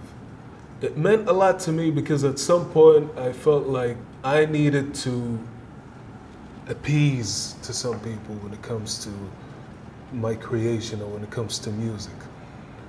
Uh, taking care about how other people felt Yeah. as opposed to yourself About about the thing that I'm trying to put out. okay Or how will I be perceived? That is the question that comes to my mind a lot hmm. sometimes. How will people see this? How how will people think about me if I do this certain thing? And that is one of the things that can hold you back, just like we spoke about Absolutely. self-criticism Yes. and how it holds you back. yes And I felt like this is one of the things that holds you back. us caring about the opinions of others Yes. So even the idea of when you see somebody doing something, if it does not affect you in a way, or if it if it's not gonna affect their surroundings negatively, then maybe you shouldn't have an opinion about it. You know what I mean? Hmm. It's a lot of things that are that has to do with even eh, that's in social media. I see that in social media a lot. People feel like people feel the need to express and say something about something that they see. They feel that. Or they feel the need to allow something they see to affect them. Hmm. And I, I see that in, in Twitter a lot. No shade to Twitter, but I see that on a lot. It's like I feel like I'm watching the news. Because when you watch the news, you leave with bad energy. Hmm. Every time you see something on the news, like when it's done, you feel like, what is this heavy feeling that I'm feeling? You know what I mean? So I feel like there is some kind of distance that we need to consciously Sure. put out sometimes to things that we know don't have any kind of effect on our lives. If it's not positive, mm. Exactly. out the way. In the future, your kids, I'm sure they'll have a lot to learn and they'll be inspired by you. But if you could only leave them with one trait, an attitude, or a skill, mm. and it could only just be one to give them the best chance of living their best life, mm. what would that be? Give smartly. Give smartly. I, I truly do believe in the idea of giving. I truly do believe in the idea of, uh, regardless of whatever it is, because a lot of people may give when it comes to money or advice or love or whatever it is, but they don't do it in a smart way. They're very naive about it. Okay? And if they're naive about it, they're going to face a lot of people who, who I could call vampires. And that will not be reciprocated at all. Sure. Or they won't find themselves in a situation where if I give right now, this thing is going to come back to me in a good way. Mm-hmm. But even, I truly do believe, even, even with someone, if someone wants to give, they don't give with the thought that I want this back. To give with no expectations. Yeah. Mm. Like, but in a smart way. So it's like an investment. You don't know where the return of investment is going to come from. Sure. When it comes to, to, to the world and to life and to interactions with people. Like, mm. I could be good to somebody, but the return of investment is not going to come from that Sure. person. It's going to come from someplace else. So I need to be aware of that. Give with no expectations. This is important for me because I see a lot of people, they give, and then they expect that to come back. And then it's not, it's not genuine anymore, especially from that person. You're not really giving if the expectation is there. That's not giving. Exactly. Yeah. Because sometimes, sometimes you're gonna give something to somebody and it's gonna shoot them in life and they're gonna go. There is no chance for them to, to give you back. And if you're just gonna sit there and expect it, you're just gonna put you in a situation of just being sad. Yes. I've seen it a mm. lot, especially in especially in the things that we do, especially in the business, especially when it comes to support. You know, a lot of people go like, "I supported this person, but they did not support me back." It happens. You know what I mean? But if you're genuine about supporting that person, just support them. Don't expect anything back. Even if they did not give it back, it's cool. You give when it's the blessing. Yeah, I, I liked your song anyway. Mm. You know what I mean? I liked your performance anyway. I'm just not, I'm not waiting for you to tell me that to me again, you know? 500 years from now, history will read Hamza Hawsawi was. what would you like it to read? That's an interesting question. Hmm. You have to think of something profound. Maybe it could be articulated better, but there are two things that I feel like I really want to give out to the world. It's to motivate people and to entertain them with the music that I do. Mm-hmm. So, however, I can articulate those two in a book that people will read 500 years from now, I think I'm gonna be cool with that. That's very but, nice, But man. these are the two things that I feel like I really want to give out. These are the two energies that I want to give out to the world. And I, I really believe you're doing that. I hope so. Yeah. I really hope so. I'm sure there'll be a, a lasting legacy of it. Hopefully. Man, um, in a world where it's hard to get people's attention, if you had the world's attention for 60 seconds, it could be an individual that's lost Um, it could be someone who's not sure what they want to do. It could be someone who's a struggling artist or wanting to become an artist. Um, anything that you know you'd perhaps tell them if they had the opportunity of having a mm. coffee with you, which is hard to do, mm-hmm. um, but they could have it through this medium on YouTube or listening to it on podcast. Or, I would say, and I and I might direct this to to the artists and the people that are doing what I'm doing, and I would say it to myself as well at mm-hmm. the same time. Be patient. It's gonna happen. Just be patient. Remain consistent and make sure that you're doing the right things to aid to your art or your craft. Just make sure you're honing your skills. Make sure you're always stepping up and, and gaining more knowledge to the things that you want to do. Mm. And be patient. Don't rush. Just be patient because rushing sometimes hinders the process. That's 60 seconds, right? Yeah, and, and li- life has a funny way of it. The more you rush, coming from someone who rushed his 20s, The more you rush, the more you're held back. yeah, You feel like you're wasting more time when you're rushing, which is kind of uh, like a paradox. yeah, You know, you feel like if you're rushed, you're gonna get things done faster, but that's not the case. Man, I really appreciate you making the time. Man, thank you for having me. I appreciate you, the wisdom that you've shared, Thank you. um, gems that you've said, uh, sometimes in passing. Hmm. Um, guys and girls, I believe that if you resonated with Hamza's voice, that you would have got a lot of gems. But I do recommend that you watch this video, or if you're listening to it on podcast, to listen to the audio a second time. I go through, as you know, every single interview I go through a second time because I write summary notes which we make available on our website. And every time I've learned so much more the second time around. I guarantee that if you watch this the second time around, if you listen to this the second time around, you will see the gems that Hamza has dropped. Um, truly profound, powerful, priceless. Thank you. Um, man, it's it's really awesome. it's a pleasure. Hopefully not the last time. No, the first of many, bro. Yeah, the let's first of many. Let's do Um, if people want to follow you, um, what's the best way?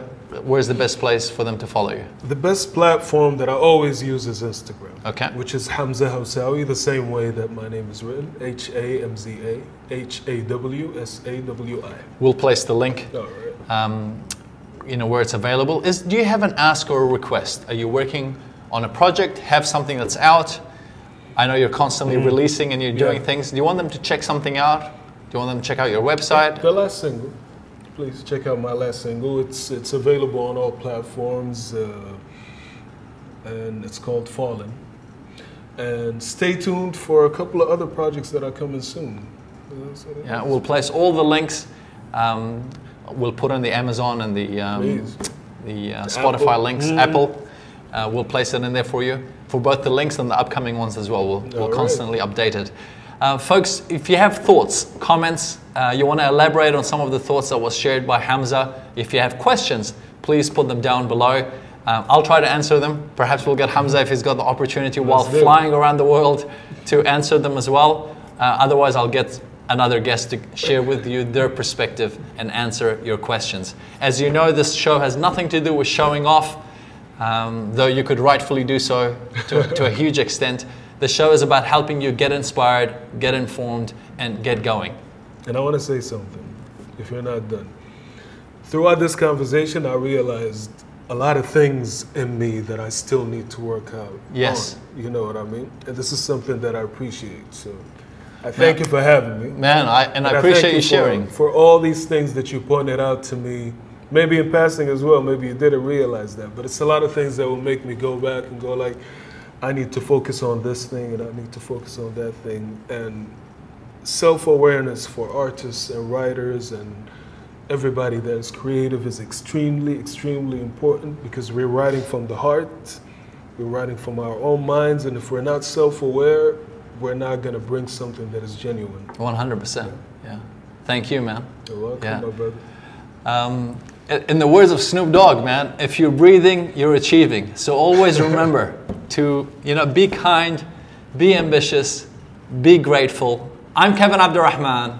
This is how do they do it? Oh man. Oh, brother.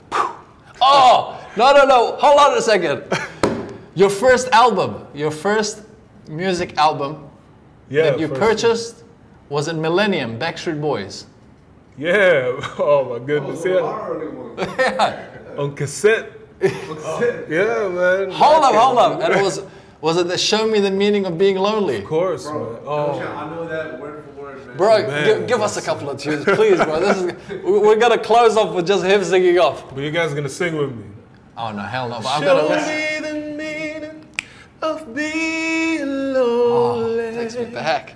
It's just the feeling I need to walk with. Tell me why I can't be there where you are. There's something missing in my heart. Holy s- Da-da-dum, da-da-dum. Oh, Man, I just, I goosebumps, man. I'm just nostalgic about. I love that song, man. That album, that whole album. man. oh, you took me back to my teenage years. man, that album, bro. That was great.